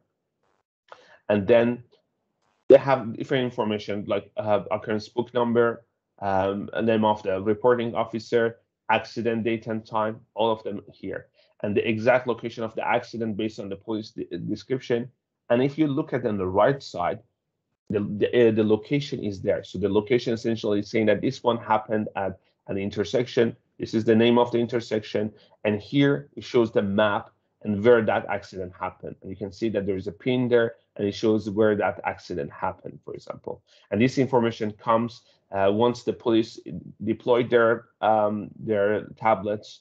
It will come from the GPS information of the tablet. But in the meanwhile, they will put the address number if they use the uh, printed forms, and then someone will put it in the system and choose this location for you. And you can see that you can expand this GPS location. You can click on this button and it shows the longitude and latitude and even from your GIS map, uh, what's the coordinate, X coordinate and Y coordinate of your uh, GIS system. And if you go down, let me unlock my, um, let me unlock my uh, record.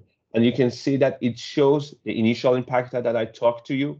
So if I click here, you are not able to open it because this record is locked and only police or admin users are able to do that one. But I just wanted to show you the list.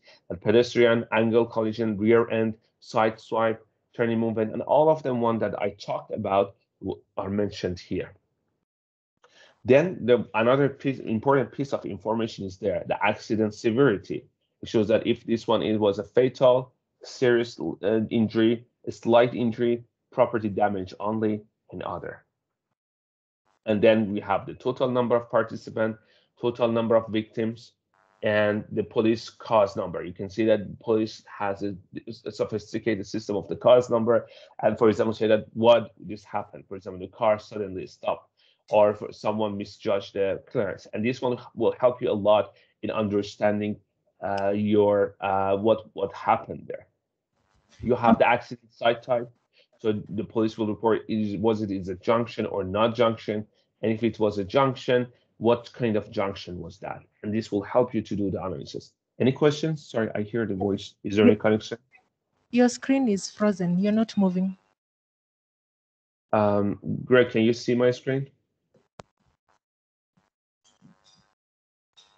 Yes, yes, I can. And can you see that I click on the junction type? hmm Yes, I can see that. Um, Aska, I think it's from your internet. We need to wait a little bit your internet catch up, I think.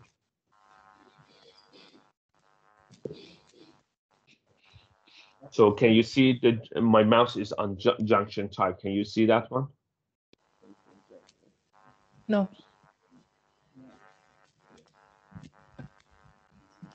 So It is not, it is not there. Can you see, can you see that one? Yes, you can now see your cursor. Good. So then you can see that there's traffic signal and signs there. What kind of traffic signal was installed there? For example, if you see, for example, there was no traffic signal at one intersection and there are lots of collisions in that intersection, we need to think about it and maybe we need to install a stop signs. Arden, uh, were you talking? Uh, uh, my, okay, some of our computers here are not having the same permissions uh, as the other guys. Yes. That's The one No, on, no, No, just I'm showing to you. You, you won't have the permission to edit them because um, you are the only police are able to edit these details. And because I have a super admin account that I want to show it to you in demo, that's why we have it. But otherwise, you should not be able to open these values and see the values inside them. That's that's the reason. The records are locked by police. Okay, does that answer your question?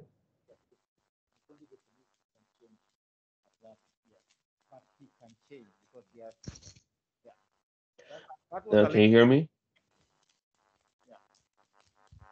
Um, and, and, Dr. Timokash can provide, they did a study on these ones. He, um, Dr. Timokash and Askal can provide you later with a list of the, all the fields and all the values and the meaning of those values. I think all, Dr. Timokash, they already have this document and later on they can distribute this one to, not right now in this meeting, but later on they can distribute this document with you, share this document with you.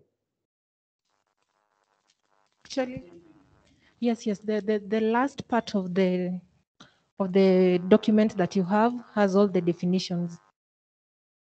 Awesome.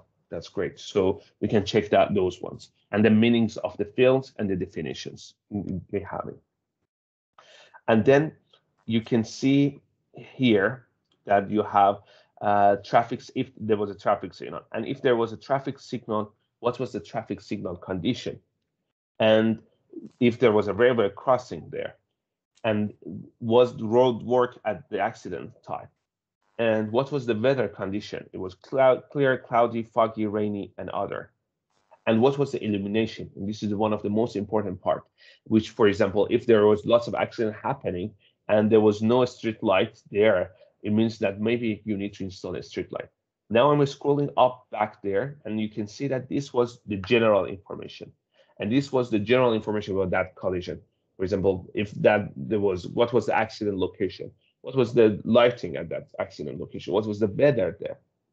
But in one accident like this one, there could be multiple roads involved. And the people will see that, for example, the police will fill this information, say that one of the roads that this was at this intersection is general, uh, for example, uh, Worogi, Woroge Road and say that the pavement was paved and the pavement damage, pavement condition was damaged edges, for example. And they can have multiple roads involved here. The other tab, which is here, is vehicle.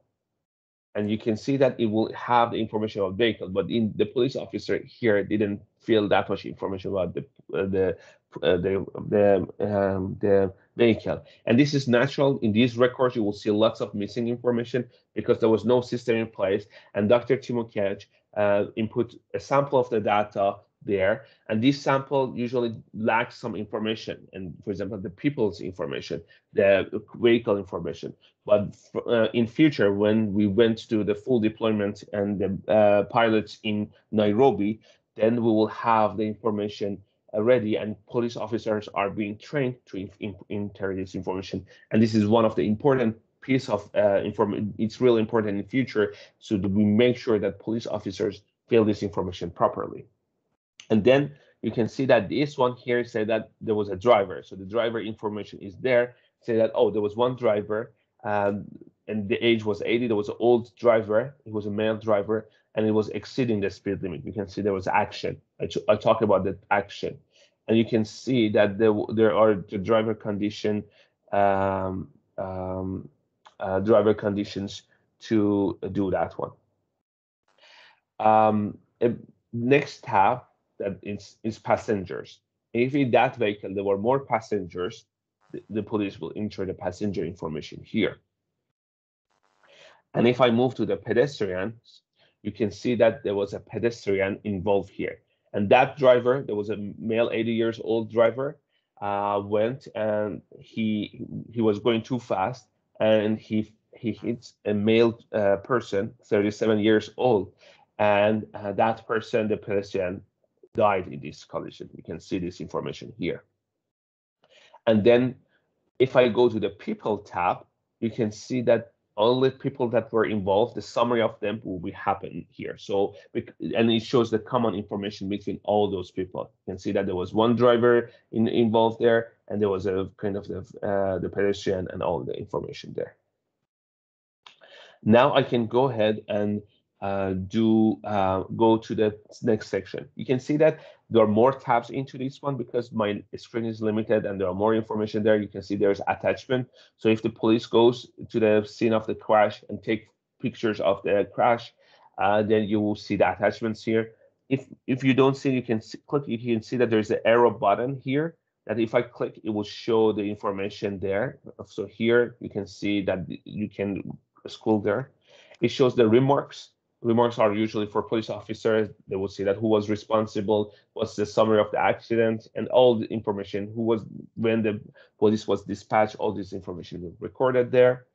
Then we have the change log, which logs any changes. So if any police officers, after creating the records, goes and change, or anyone else goes and change any piece of information in that record, it will capture and here. And this is really important for the um, later on. And there's one other important tab, which is validation, which means that because there are some validation rules. And for example, the severity of the collision is required. So if the police enters information and the information is missing or contradicting, there will be messages here say that this is not right, and say it will give you an error there. So essentially, now we reviewed uh, a collision. So please go ahead and play with your collision and see how open one collision and take a look and see what's going on.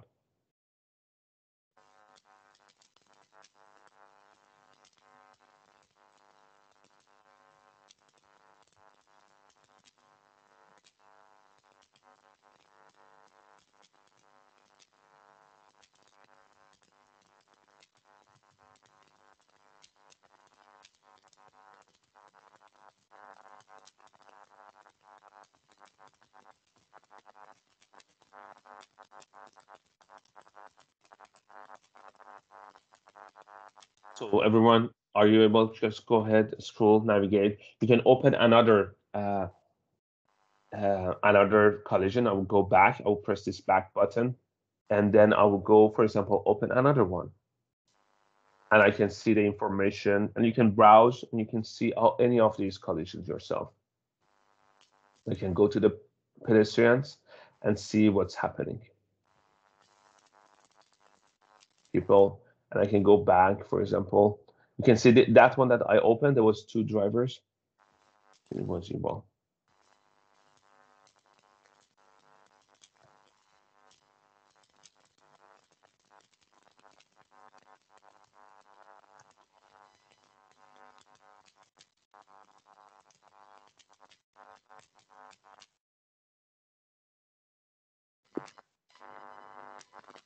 So Dr. Timokash, please let me know when everyone had the chance to review collisions and you're ready to move to the next piece.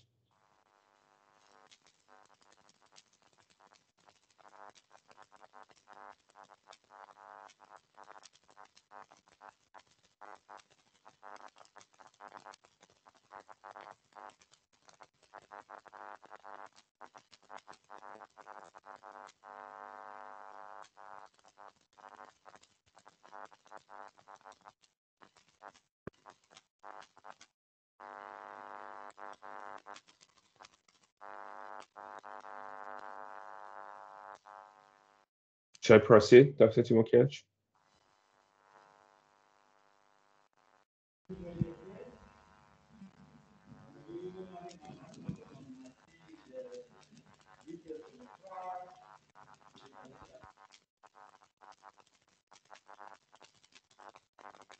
Sorry, I didn't hear you if you were talking.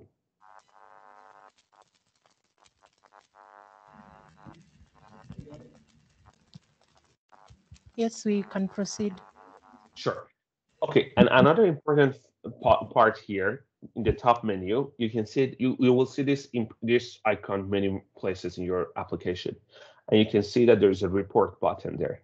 And if you click on that one, in, this is one collision. So if I open one collision, if I click on report, I will click on report and as, as Excel, and it will export that information for that collision to an Excel for me. And let me just sh sh show it to you. So that if you want to edit this one, share this information with someone else, all the information that are available, you will be able to see it there.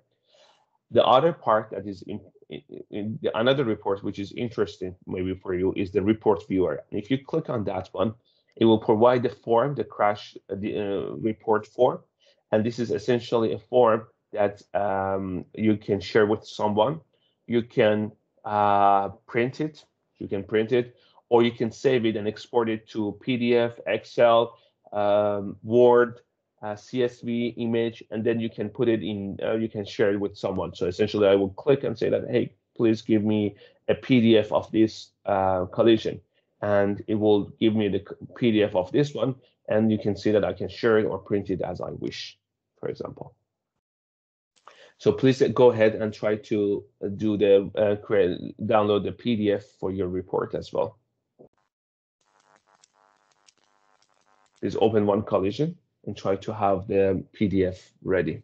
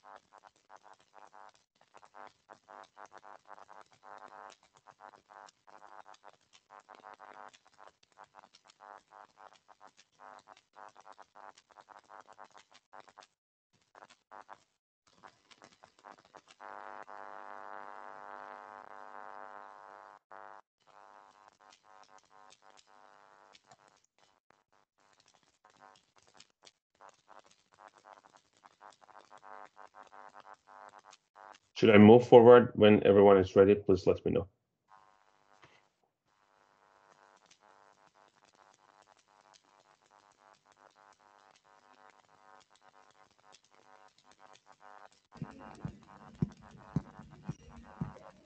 Yes, you can proceed. We are good. Awesome, that's great. So now let's go back uh, to the uh, press back and come to the grid view and let's talk about the grid view. Okay, so Greg talked talked to you about how you can do filtration and uh, doing the information, but let's go ahead and try to take a look and try to see, uh, for example, we want to see what we will do in practice to summarize the data. I believe that all of you have this uh, training material there. And we want to uh, solve these questions together. So you can see that this is kind of the training material that have been provided to you. And you can see that uh, we have this um, we have this uh, page ready for you. So that's talking about the questions. Do you have your questions ready?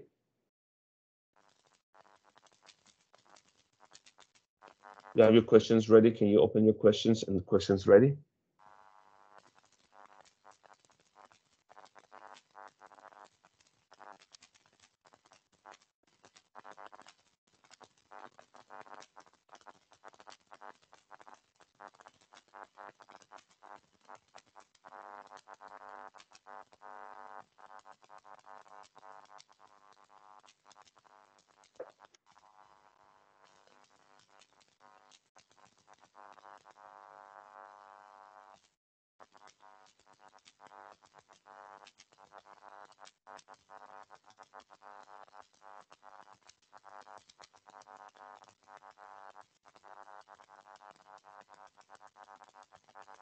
Let's go ahead. If everyone has their questions ready, please, Dr. Timokiewicz, please let me know once I ask everyone to do something.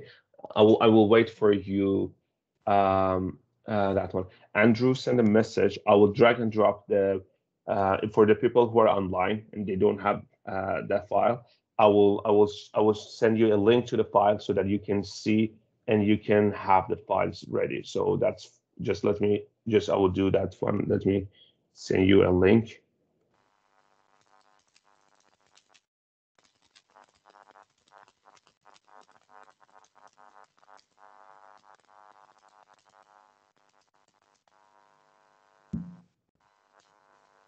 So in the chat for the people who are online, I'm going to send this document in, in the chat. So you are able to do to download this one or view it online and just do this one but I will share it on my screen, but these questions. So question number one, let's, everyone has the questions?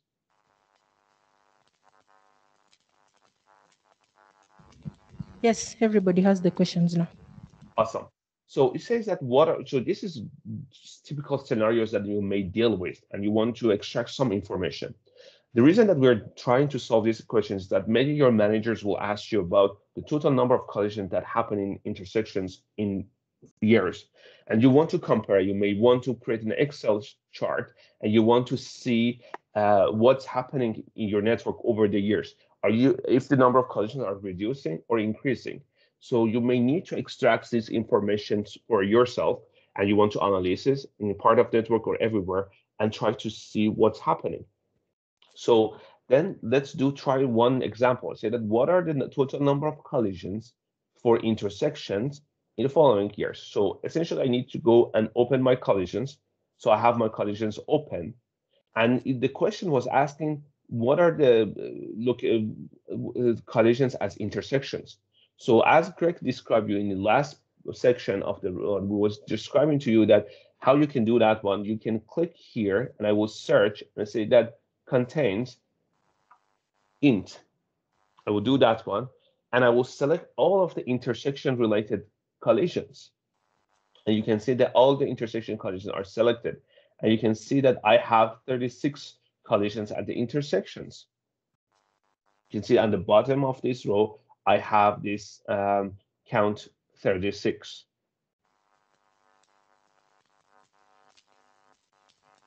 Please go ahead and do this one. Can apply this in uh, this uh, uh, this um, filter.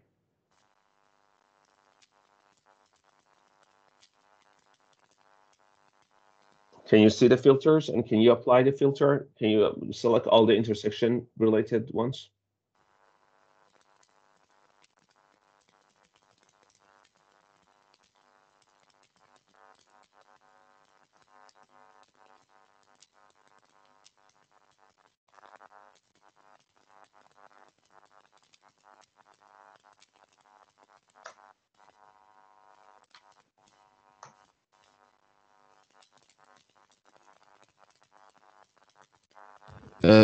Come up again. Just go from the start of that. So how to find, uh, okay, so where do we go? Do we go to, do we go to geo? Uh, for, yes, you need to go to the column GeoID, the Uh-huh. second column.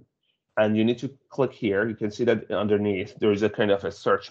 There's a search uh, one here, right? Uh-huh. I will So press contains. At search, what do we put int? Yes, int. All of your intersections start with int. Okay. Good. Then good. Then you should have 36 collisions selected here. You can see that if you scroll down, it shows you the count is 36. Do you have all those 36 collisions?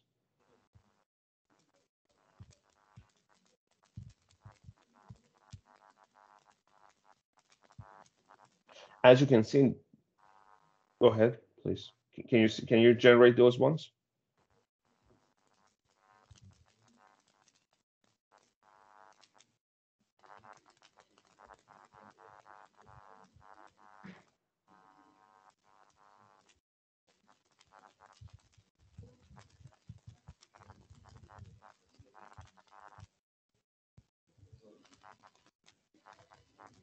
Please let me know when you're ready.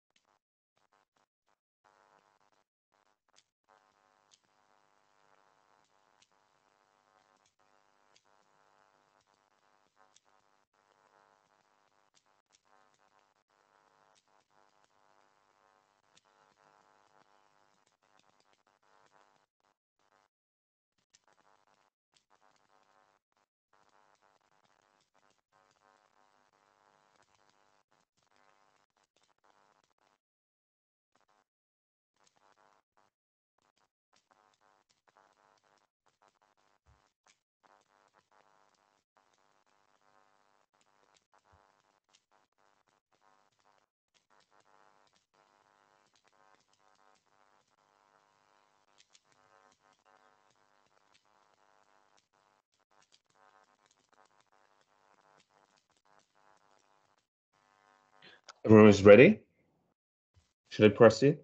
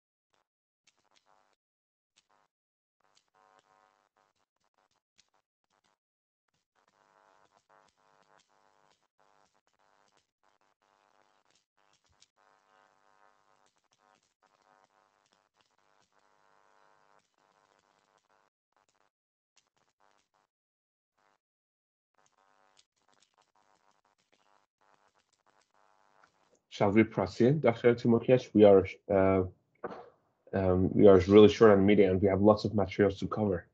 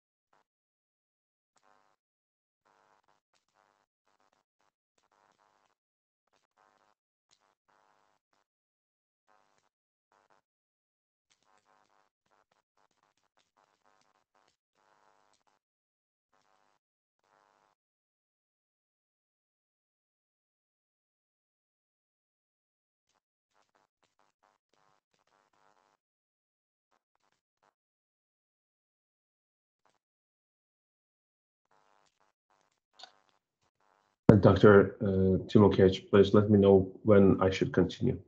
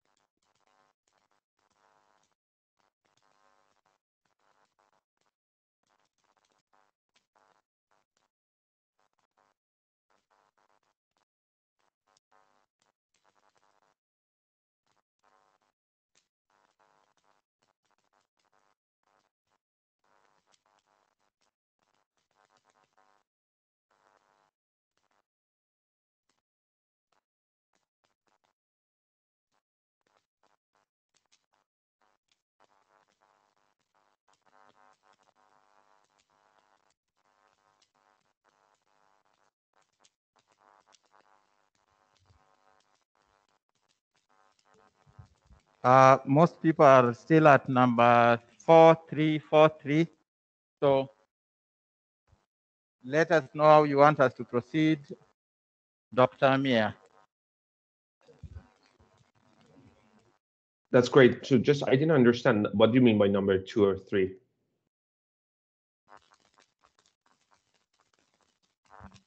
Sorry, just what's happening? Can you tell me?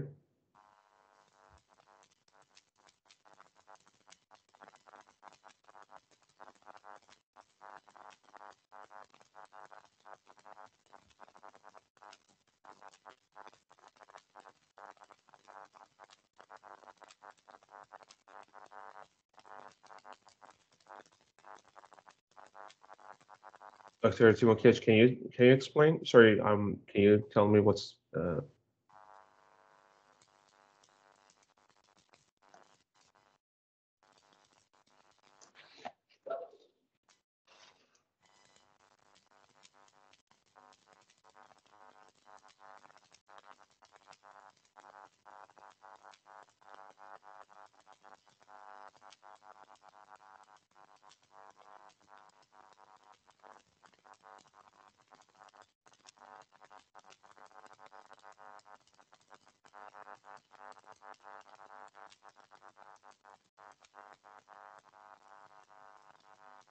Dr. Timokech? Um,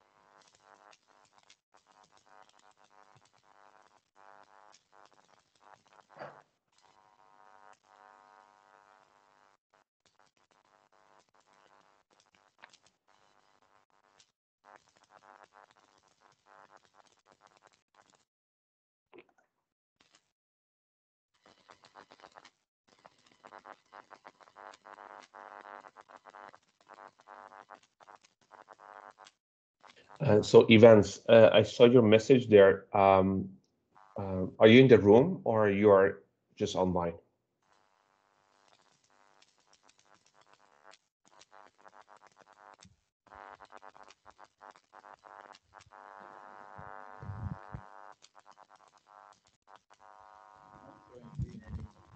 Hello? Hello. I can hear you, Dr. Okech. Can you tell me? Yes, yes. Uh, uh, they're still working you- on it. Can, can you update me what's happening and uh, what's going on here? Uh, I think it's valid. Uh, No, sorry, just they were supposed to solve question number one. Are they moving to other questions? I, I think number one, the people have passed it. They have got it. I think it's straightforward. Yeah. But number three and four, I need to talk about it. So please stop there. If you already reached the question, you solved question two and three, then one or uh, one or two, please um, stop. The number number- three and four, four needs explanation. All right. So, guys, a moment. Number four, the one of uh, counting the number of injured people. Dr. Yes. Mia wants to talk about that. Yes. Discuss about So- that. Is that okay? Um, so let me yes, let me let me describe here. Just let me. So each collision, you can see they, there is an accident severity, right?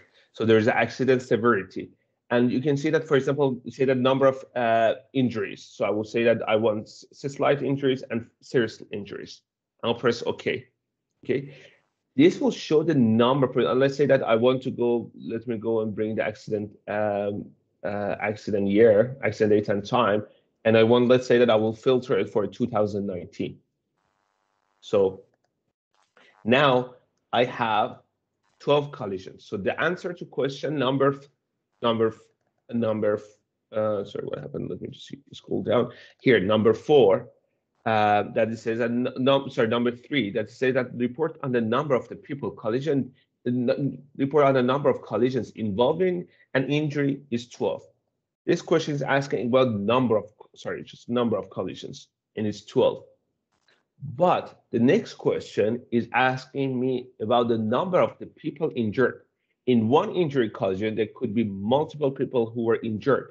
So I cannot put 12 there. We need to do another thing. And that's why I want to have this segue to teach you another item. There is on the menu on the left, you can see collisions, and there's one other tab, it's called people involved. And if you open that one, it will show you another view of the collisions. It shows the GeoID location, the accident number, and the people who were involved there. So for example, let's take a look at this one, this accident. And you can see that in this accident, you see the accident number is constant. These two, they are belonging to this one. It, it provides the both the driver and other person who was involved there. And I think this is a kind of a passenger that who was there and it was fatal. So that driver hit, you see, this is the collision that we reviewed together. That 80 years old male driver hit the fem, uh, male 37 and it was a fatal. So, and it was going too fast. Do you remember this collision 4604 at the end, the, the last number? So you can see that one. So it brings all the people there. So in order to get the number of the people who are injured, I need to go ahead and, for example, filter based on the year 2019. And then I will go on here, I will say that injury type, and then I will put the injury type to the seriously injured and slightly injured. And if I go down here and I look at the, the count, now I have 10 people who were uh, injured in those collisions. So the answer to these questions is 10.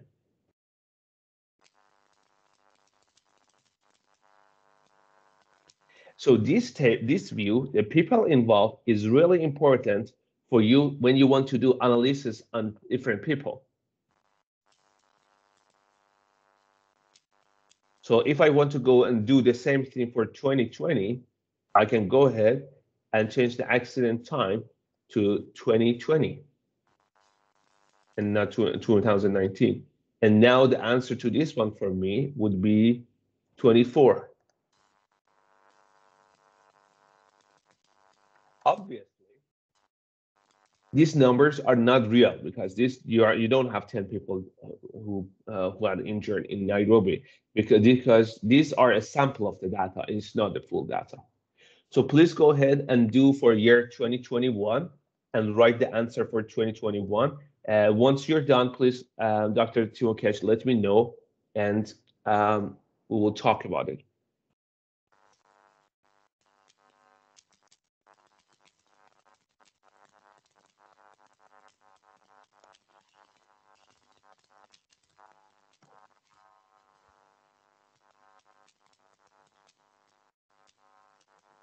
So event, uh, you type some message there, you are not able to see anything. Can you, can you elaborate what's going on? What, what's your issue so I can help you while the other people are solving their, their problem?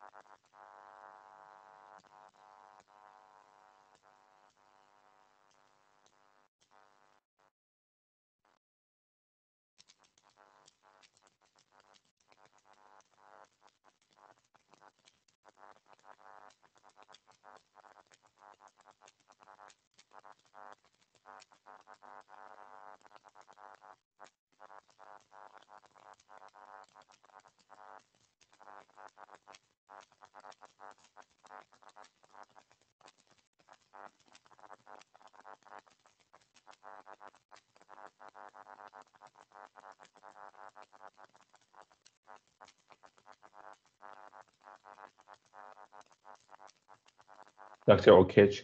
Uh, so I think it's better to wrap up the meeting and continue the rest of it uh, in the next uh, session.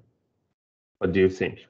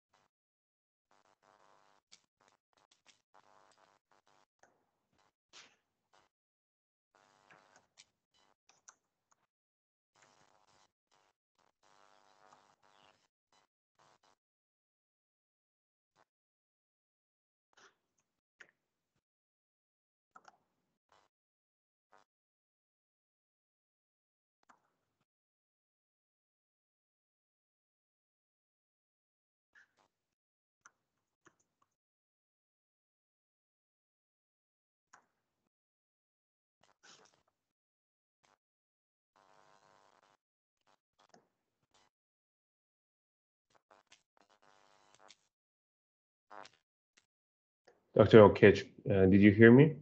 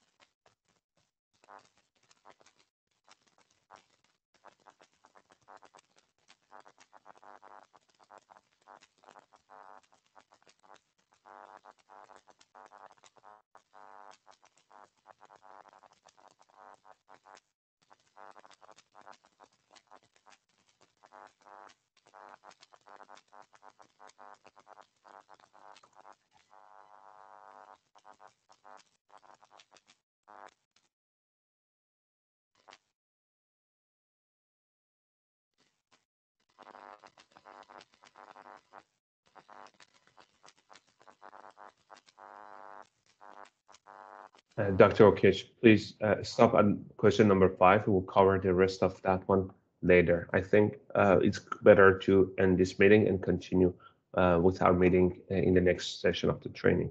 What do you think?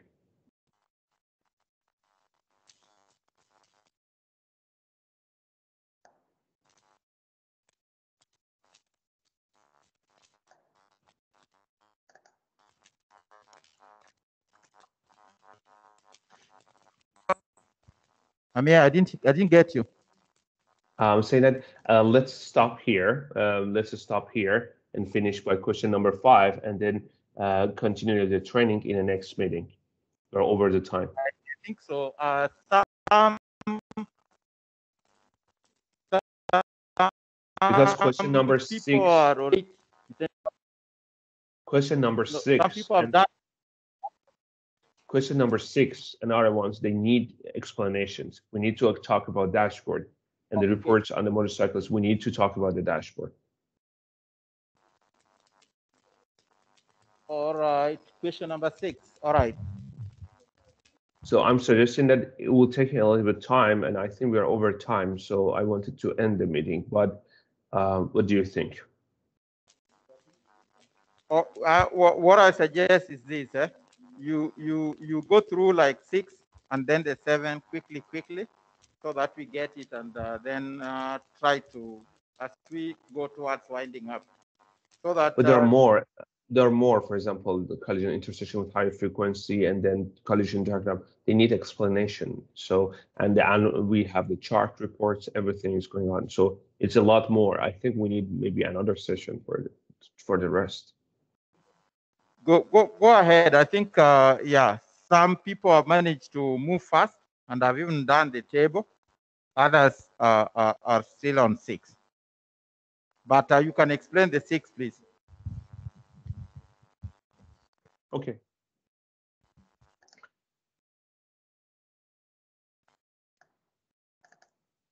Um, just give me a second and then I'll let's continue at six.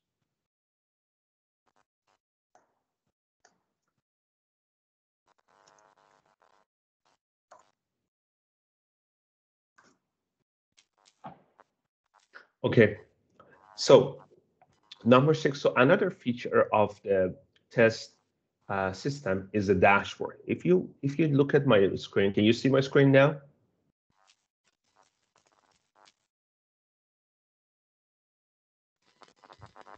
Can you see I my can- screen?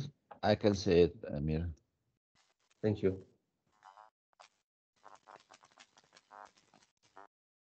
Uh, Dr. Timo Ketch, can you see my screen? Can you hear me? People can hear me? Hello? Yes, we can hear you. Can you see my screen? Yes, and your cursor. Awesome, that's great. So another feature of the TES software is the dashboard. So if you look at my screen right now, please everyone stop um, answering the previous questions. We will we will we will give you some time to do those ones later on. Or um, and I think I suggest. Um, so I'm suggesting that um, um, I'm suggesting that please stop solving the uh, the problems. Please listen, and then we'll give you some time. You can answer the rest of the questions uh, on your own, and then you can come and talk to us. You can talk to um, ASCA or other team members from TeamCon eh, or or the, the drop-in drop-in meetings, and then you can continue and you can check your answers. We will cover the questions and we'll answer the questions in the next meeting that we have. Um, so, um, um, so right now, so let me go ahead and show you in the dash in the left navigation pane. As you can see, we have a dashboard menu. And if I go to the collision dashboard, you can see I will see this in this uh, uh, this um, information available to me. Can And sorry, look up?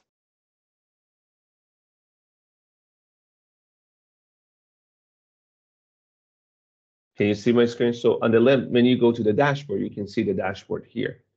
And the dashboard has three uh, tabs. Remember that every all of the pages in TES, you just go to the dashboard and you do the collision. Here's the page that you need to go there. And then you can see that there are three tabs, one overview, emphasis areas, and comparative.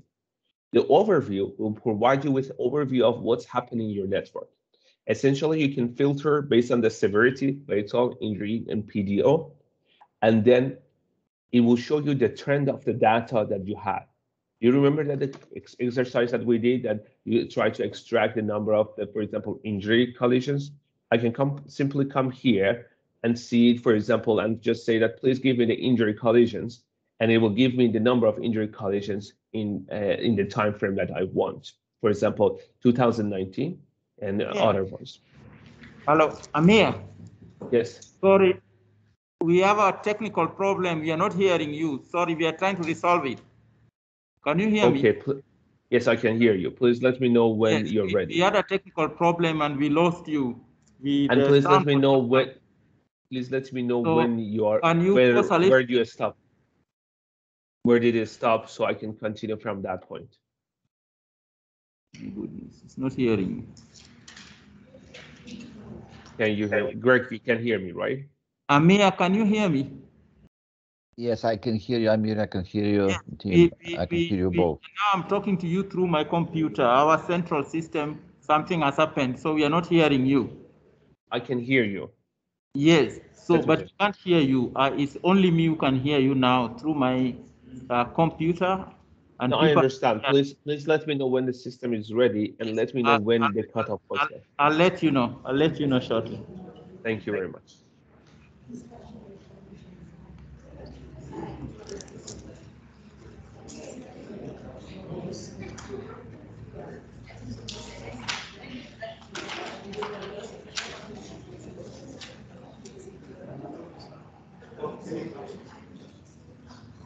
Okay, now? Let me just.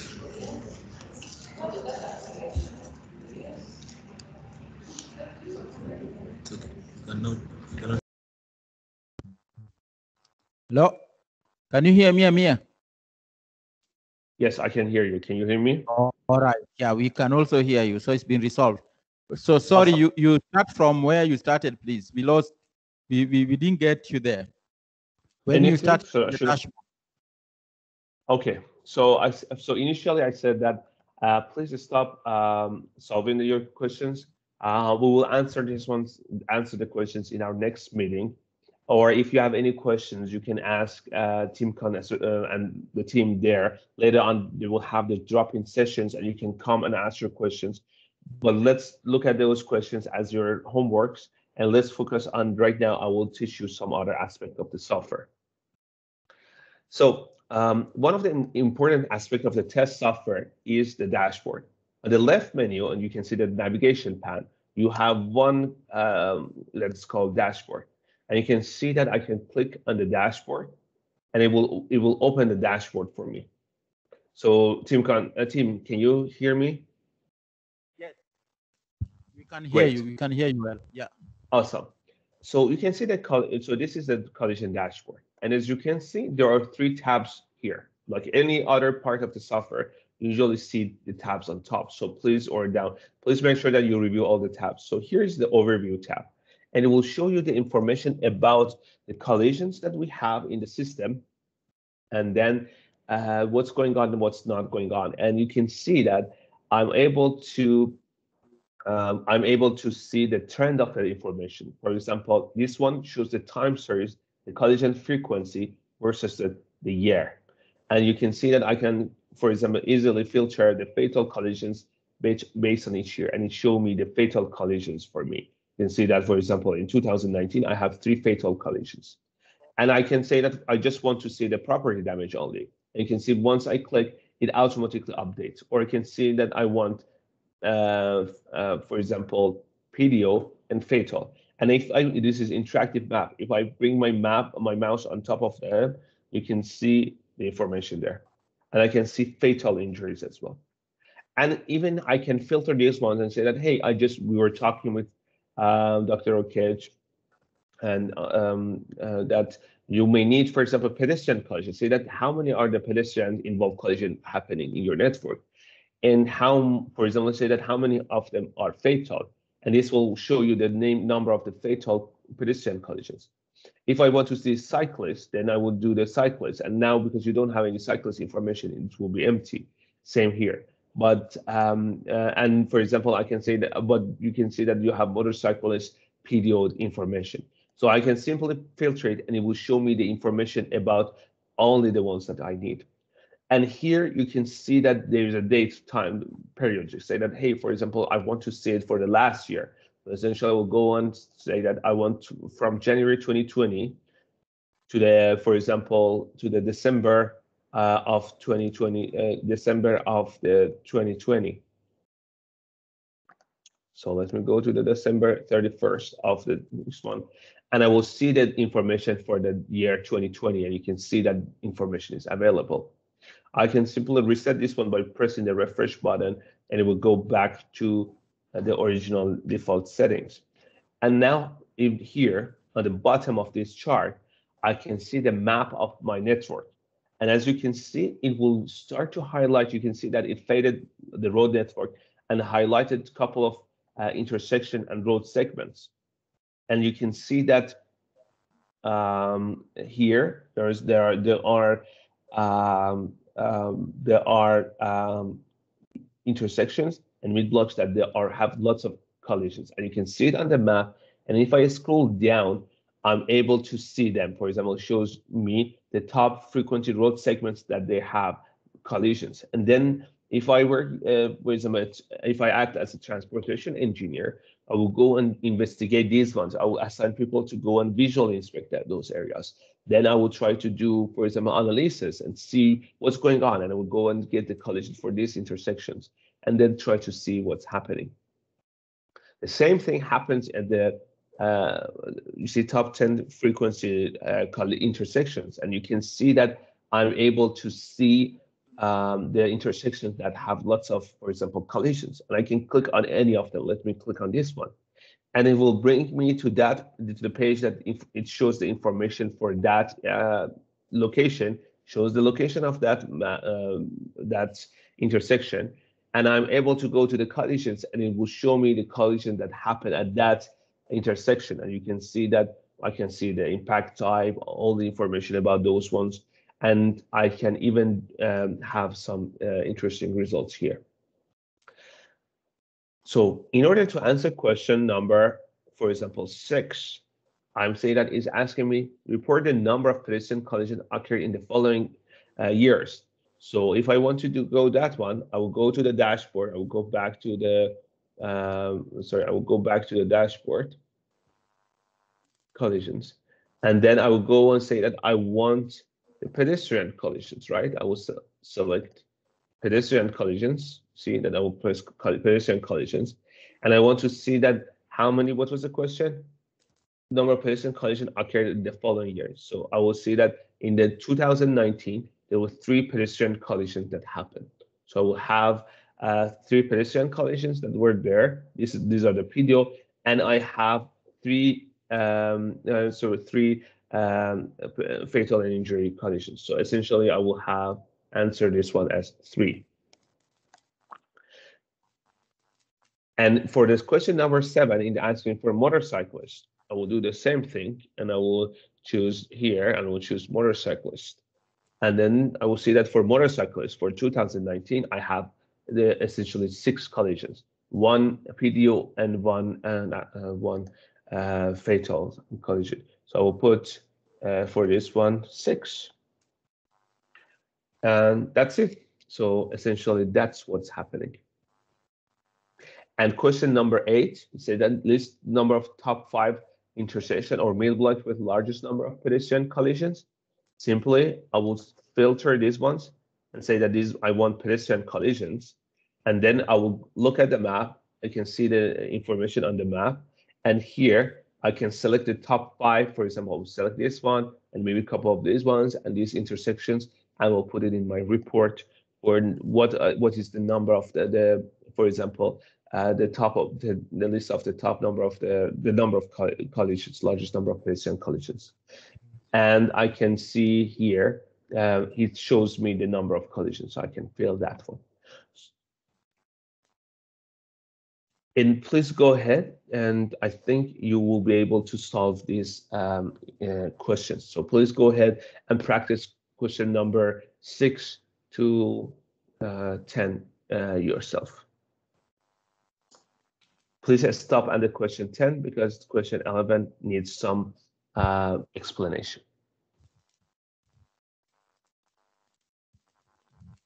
Yeah, the good thing is that you have access to the software even at home because you have the login.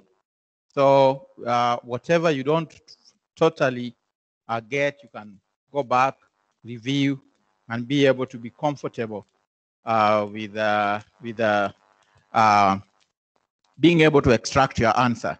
So it's very interactive, pretty easy if you have used Excel the filtering and all that. There isn't really a hard thing that you're going to uh, do, but the whole essence of the training is just to be able to make you comfortable with the environment, know how you get in, know the information you are able to extract for your work, for a query when you are given, and so on. So as you do these exercises, it's going to make that uh, much easier for you, and uh, you are going to be able to be more comfortable with it. Yes. Dr. Okech, I have a suggestion. This is a little bit late. I'm not sure if you heard me before. Let me cover question number 11, the diagram, and then they can do the exercise th themselves when they're working or at home, at work or at home, and then uh, they can check the answers with Aska or Joseph or other people uh, there. What do you think of this one? Because we are already over time and it's going to be really late. Go ahead. That's great. So the collision diagram, if you notice that when I went to the dashboard and I went to the, uh, I went to the here when I was on the dashboard, showing on the dashboard, I will, I can see the uh, the highest person. Let me just clear my search and let me refresh the page again, so that we will have them um, uh, here. Now I have the highest number of collisions. I will click on the first one and you can see that I can go to the tab collision and it will show me the information for the, it shows me what happened and what's, what's, what different kind of collisions I have here. I, and that location, at that intersection. I can select all of these ones and then click collision diagram. And what it does is that it will generate a report called collision diagram, which is a really essential part of uh, diagnosing an intersection. So I will select the from date and to date that the report is from. I will say that this is an intersection, it's a four-way intersection. Click that one, and it will generate a report which is called collision diagrams, which shows, if you remember at the beginning of this one, I told you that based on the initial impact type, it shows that uh, what's happening in this network. And as you can see in this section, and if you go down there, you can see the legend. But if let's talk about this sign here and uh, talk about this one. If you notice, you can see that there was uh, this sign. Anyone, do, do you remember what was this sign for?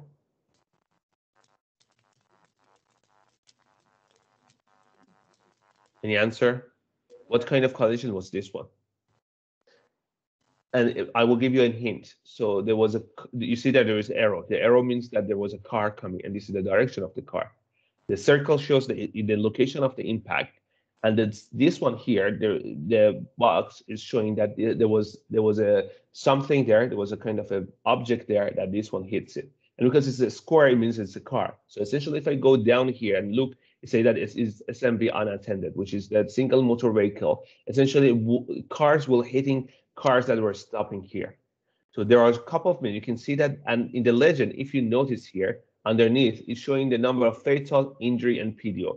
So essentially, there were two PDO collisions here that they were happening here. So it seems that in this approach of this lane, and this intersection, uh, cars are keep crashing on the behind uh, to some cars that are uh, parked here or something like that, which means that people are parking here. Maybe there's no no parking sign there. So uh, there isn't any no parking sign there. So maybe we need to have a no parking sign there, or maybe we need to have police officers enforcing no parking here, or maybe there's uh, uh, something else happening here. So we are able to diagnose this one. So this collision diagram is a really important tool for you to be able to see and investigate the system there. Um, the other part of this uh, collision, uh, sorry, let me go back to the uh, uh to the um, emphasis areas, to the next next tab of this one. These are the emphasis areas that I talked in this meeting, if you remember. The, what are the number of the intersection for collision that happen in intersections? What is the number of the pedestrian collision that happen? Cyclists and all these ones. And I can filter it based on fatal injury, PDO, and I'm able to select dates and times that I want, the time window that I want these ones to happen and check it and try to compare the information. As always, in any of the charts that you can see in the system, You can click and you can export it as PNG, JPEG, PDF, and you're able to do that one. I can select the emphasis areas that I want to. For example, I can see that I need these emphasis areas. Just I'm only interested, for example, aggressive drivers, old drivers, and young drivers. And then I can export this information and, for example, get, download it as a PNG. And for example, you can see that it will give me a image, and I can, you see, I can include this image in a Word document or my report that I want to uh, to do. And the other part that is really interesting is the comparative. Let's say that you will implement some policy. You want to, for example, do some training for young drivers, and you want to see what happened. So, for example, in between 2015 and 2019, you didn't have that policy. And then after 2000, for example, 20 to 2021, you introduced that policy. And you want to see what your policies or what you did on your network affected. This chart will compare uh, the emphasis areas before and after. So it essentially shows you that, for example, your uh, by the policies that you made, you increase the number of intersection collisions from, for example, 19 to 30, but you were able to reduce the number of the uh, pedestrian collisions. Although you were able to reduce the number of the PDO property damage uh, on the uh, pedestrian collisions, but unfortunately, the number of the uh, fatal and injury collision from 23 increased to 30. So that's not improvement. And you can see here, and I was discussing, it's showing that the intersection uh, intersections collisions, you had a setback of 58%. The before value was 19, after value was 30. Your screen is not showing that. It's, it's stuck at intersection details. So the, the, the comparison is not showing um, yeah, you are. Now you're seeing that. So where did you stop? So did you see this chart when I was describing this chart? I, I can see it. So it must be something about the uh, internet there. I see their internet is going down, Greg. Yeah, I agree with you. So what's going on? Uh, team, where did you see the collision diagrams that I was trying to describe? I cannot hear you. You saw that one. Did you see the emphasis areas that I talked about the emphasis areas? Uh, yeah, but we had also talked about them before. Yeah. Yes, I understand. Oh, just I, the, the, the comparisons. Yes, comparisons. Okay. So the comparisons, um, okay, the comparisons, as I talked, and I think you maybe heard me, is, is showing the number of, B, so you can select the before period, you can see, and you can select the after period. And then you can see that we have, it compares the number of collisions before and after. And you can see that, for example, I want to compare the, the time period between 2015 and 2019 with the last two years, essentially from 2020, and maybe I introduce a policy. And you can see that the number of the uh, uh, pedestrian college intersection collisions, there were 19 collisions there, increased to 30. And you, you can see underneath, I have a chart that is like a gauge, and it shows me that, hey, there was 58% setback. So number of intersection uh, collisions were up. Before value was 19, but after value is 30, 30. And then, but for the pedestrian collisions, the number of the collision that I had before was 58, and now the after value is 43. So I am I did good job, and it's green, and it, I had 26% improvement. That's great. I was able to do that one. But if I look at the chart accurate, accurately, I can see that I reduced the PDO uh, percent collisions, but I was not able to reduce the fatal injuries. The fatal and injury section was 23, but here the uh, here the um, after that time period, the 30 is 30 number of the fatal injuries. And that's something that I may need to look and say that, oh, the policy that introduces it reduces uh, the total number, but it causes more uh, fatal injuries. So I need to be doing that one. And for the other, I'll other jump, parts. I'll jump in. I'll jump in, Amir. I think we need to wind up a little bit, and I have a few things to be able to mention. So yeah, that's that's all. That's all. That's that's my done. So then it will be for other cyclists and motorcyclists. And as I said, you can export these ones as PDF. I can export it as PDF. and then I can have this information available ready to me and I can in- include it in my reports. I think that's all. Please go ahead after this meeting. Please go ahead and solve these ones, these questions as a homework, and then um, we will. We, you can have a session with uh, the kind of the training sessions with the other members of the TeamCon and ASCA and other team members will and team will be able to help you to set up and fix these ones.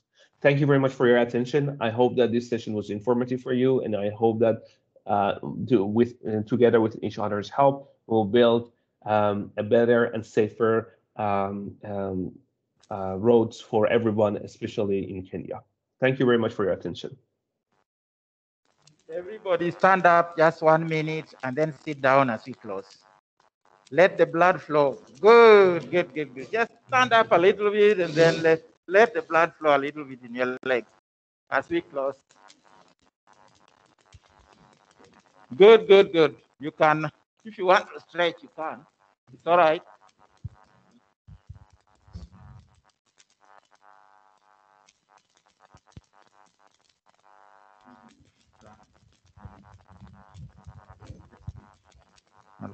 All right. Uh, you, you feel free to sit down, please. So uh, uh, we, we, we really appreciate the fact that uh, you are able to come in uh, for the training today. Uh, our team passed out, distributed two forms. One evaluation of the, the course. Please do your best to have this filled so that we know. Uh, we do, of course, apologize. We should have started this course in the morning, but unfortunately, we are not able because of the time difference. We find it is possible to just come from around one o'clock uh, because uh, the guys in Toronto started at uh, six. The gentleman in Vancouver actually started at 3 a.m. Uh, so quite a sacrifice. But uh, in uh, August, uh, the team will be here and we'll be able to start in the morning and be able to go at a reasonable pace. But thank you very much for your patience. Thank you for going through with us. Now, there is the other form, which is called Advanced Training Needs Assessment. This course is meant to give you an overview, an overview of what is taking place how you can quickly get your information. But for those who there is a need to be able to drill further, we are going to use the information you provide on this form, then to be able to see how we can structure the more advanced training. Amir has been talking about uh, collision diagrams. He is talking about before and after analysis. So these are some of the things that we could cover more in the detailed road safety uh, uh, uh, uh, uh course uh, with a bit of engineering tinge into it. And so whatever you provide for us in this form will be so important for us to be able to know how we are going to proceed to provide the more advanced training that we plan to undertake. As you can see in one of those last questions, we, we, we are talking about uh, things like uh, crash data analysis, collisions analysis, which include collision diagrams, road safety audit assessments, economic appraisal. All those things are in this testing. And uh, as part of uh, the, the, the, the, compliance that was required from NTSA and KeNHA, this software had all those things. So we are able to teach, we are able to show, but you, we can go for a very long time. So please give us information that will be relevant to us to see how we will move forward and structure. Like even what is in that collision diagram, how do you tie it to other traffic engineering concepts? Like, okay, you're talking of signals design, what and what, all those things we can connect them in a more detailed uh, training. But this was a nice overview. So please fill the form. They will be very, very important for us. And then we'll see how to move forward uh, in the next uh, area. So in closing, I'll still invite uh, Dr. Kiborong to say one or two things uh, as we close and uh, call it a day. Thank you so much, team, and um, um, all the participants who have joined us for this afternoon session. Um, the team of consultants, TES, TeamCon, those who are with us here, and those who are out. Um, uh, the camera is where? Uh, and those who are um, out of the country. So uh, I think we are coming to the end. I will, before probably close, I'll ask my colleague, Engineer um, Ogut, to see if she can say one or two. Uh, um, so, Engineer Ogut, if you don't mind, you can say something. Thank you very much. Uh, it was a very interesting session. I only wish that um, the participants would have had a moment to ask a question or two. Normally, it's good when it is interactive. Uh, one of the challenges uh, we faced was that um, you're dealing with an expert who understands the IT process, you know. From point A, he moves to point B. From point B, he moves to point C. And I want to believe that um, as he went through those phases, even us who are engineers, we got lost somewhere. So I can imagine those who don't have experience in that sector, what happened to them.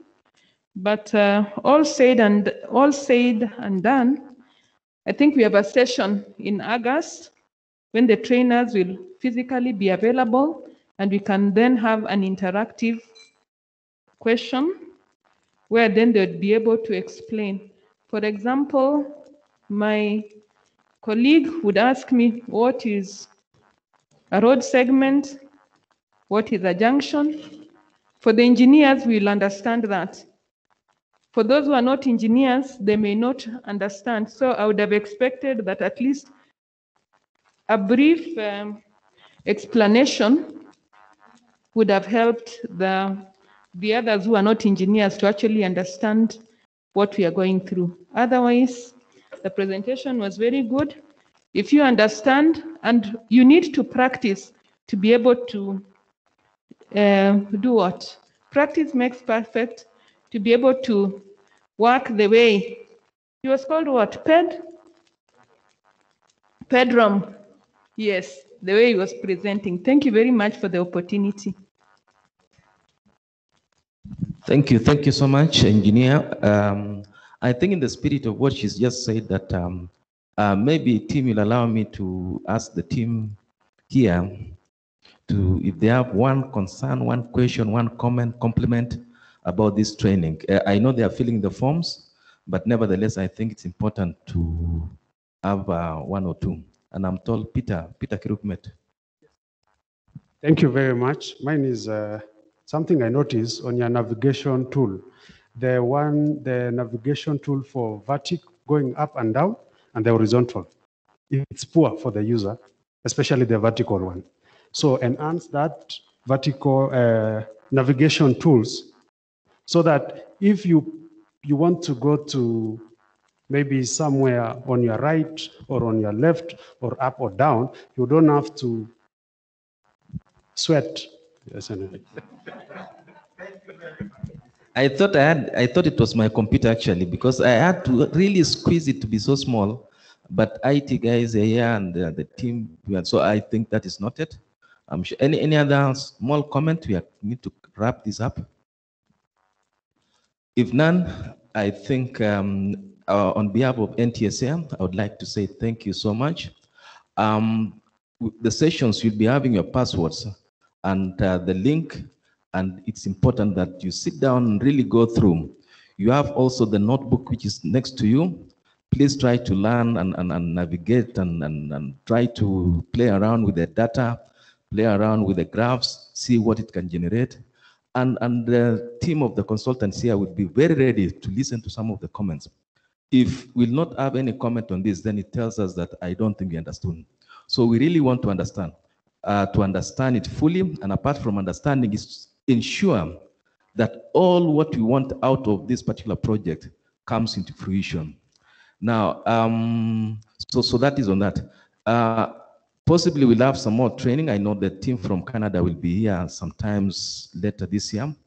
But nevertheless, I really encourage all of us to fully understand the system.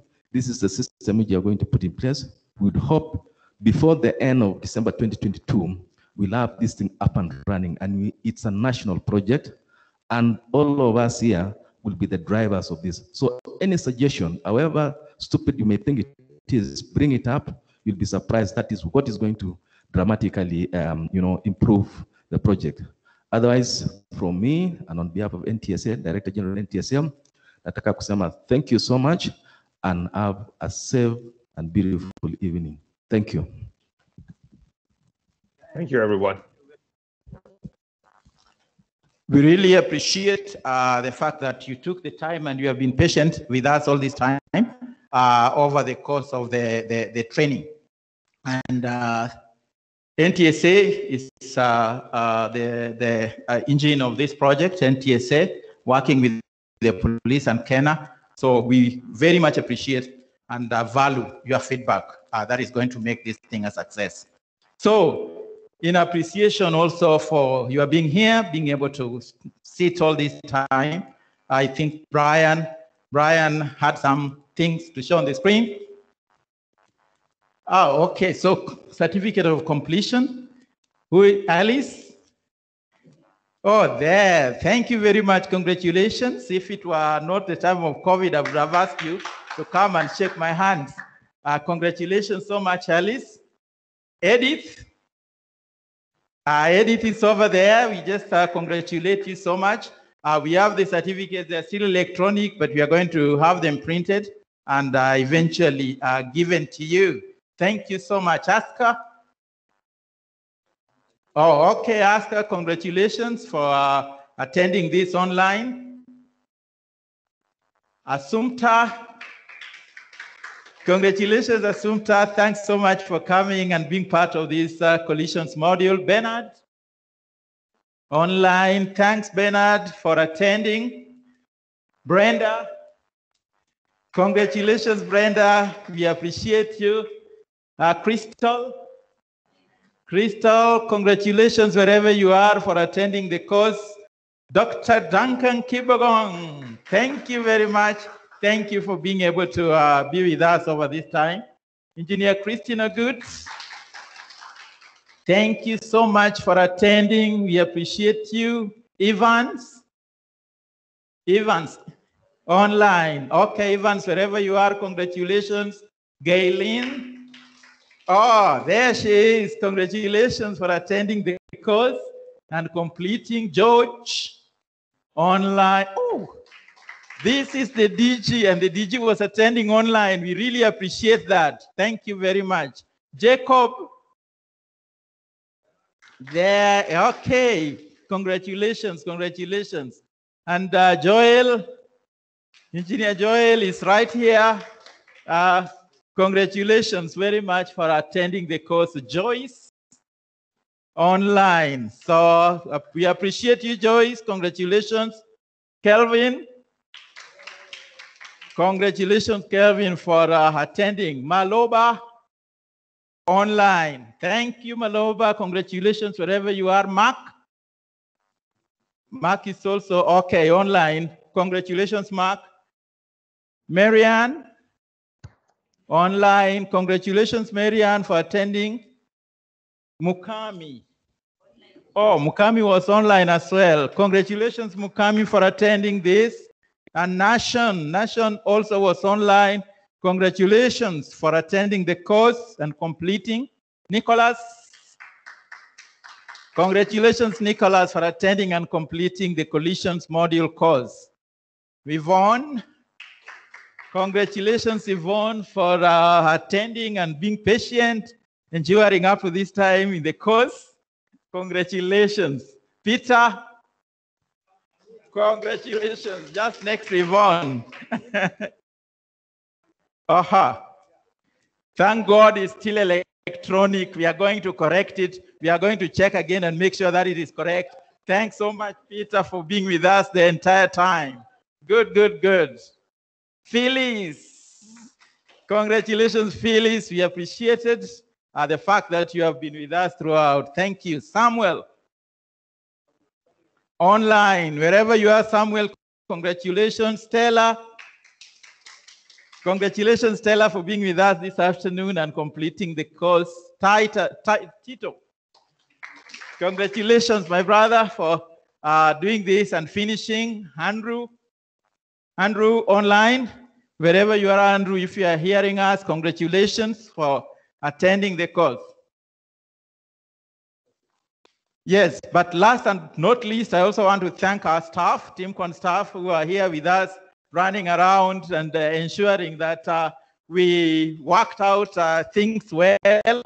I believe you also have the certificates for the TeamCon staff who are learning. Oh, oh, okay. They were there the other time. Okay. So they have learned this twice. So thanks so much. Do you want to come just in front quickly? Team can start so that we finish up. Investors who are helping us in the maintenance, they're part of the project team uh, as uh, experts. So we appreciate you, Ken and uh, Festus. Ken, Ken. That is Ken Digo and then Festus, Festus Okumu. Thank you very much. Then we have Zane. Zane is uh, an intern with us. We have three interns actually working with us. Uh, all of them uh, just finished their engineering courses. Zane uh, finished, and uh, we have Evelyn. Evelyn also was doing a program in China. She just finished a degree in China. And then we have uh, Mary Joy, also was doing uh, civil engineering in the University of Nairobi, just finished with us. So we are very grateful for you being here. We have Aska. Aska is uh, our principal assistant in the project, working very hard to ensure many times you'll see the emails are from her. We appreciate you. We have Brian. Brian Jobita uh, is uh, one of our, our statisticians and very, very involved in the in the in the in the program. And uh, we have, last but not least, Anne. Anne is our administrator, and she's been busy coordinating so many things in the background. So we very much appreciate you. Thank you for working so hard to make sure that this has come to a, a, a success. Thank you. So we do appreciate, I believe that we are going to meet again uh, as we go into the next levels of the course. I did notice from uh, Engineer Good that maybe there might have been other people also who wanted to attend. So we are going to do our best to ensure that uh, uh, we make it possible for the uh, them to be able to attend. We are here available. So if you have anything, any questions, please contact us. Feel free to take your time and learn this. The more you interact with it, the better it will be. So you can always send us a question. Again, as TES mentioned, uh, there will also be, uh, they're available also online. And uh, we are going to have like a drop-in session when they are available live and uh, you can always interact and ask them. And then we'll also be posting videos, YouTube videos on tidbits of doing this, doing this, and navigating through the system. But our advanced uh, course is going to target some of the more technical aspects of this. We appreciate the comments that we got. We are having a log of all the comments, and we are trying to see how we can improve on the things. Thank you for your patience, for being here from 12 until now. We very, very much appreciate. I'd like somebody to volunteer and close for us with a word of prayer. Okay. Thank you so much, engineer. Okay, let us rise up for a word of prayer. Our Father and our God, the creator of the heavens and the earth, we come before you this evening to say thank you so much for answering to our prayers by leading us safely throughout this session. We pray for the knowledge we have gained. We pray that you may give us the determination to put it in, put them into practice. Continue to inspire us, Lord, that we may be proficient and diligent in the service you give to your children. as we learn through all these systems. We thank you for all the teams and the stakeholders involved in this program. May you continue to prosper us to greater heights. As you're going to depart from this place, may your presence go with us. Above all, may you prepare us for your second coming. We ask this in the name of our Lord Jesus Christ, our righteousness. Amen. And sorry, we will put the recording of this meeting uh, on YouTube as well. If you want to review and you have any questions about these ones, and uh, you can review on uh, YouTube as well. I think TeamCon will distribute the link to this video to you as well. Thank you very much.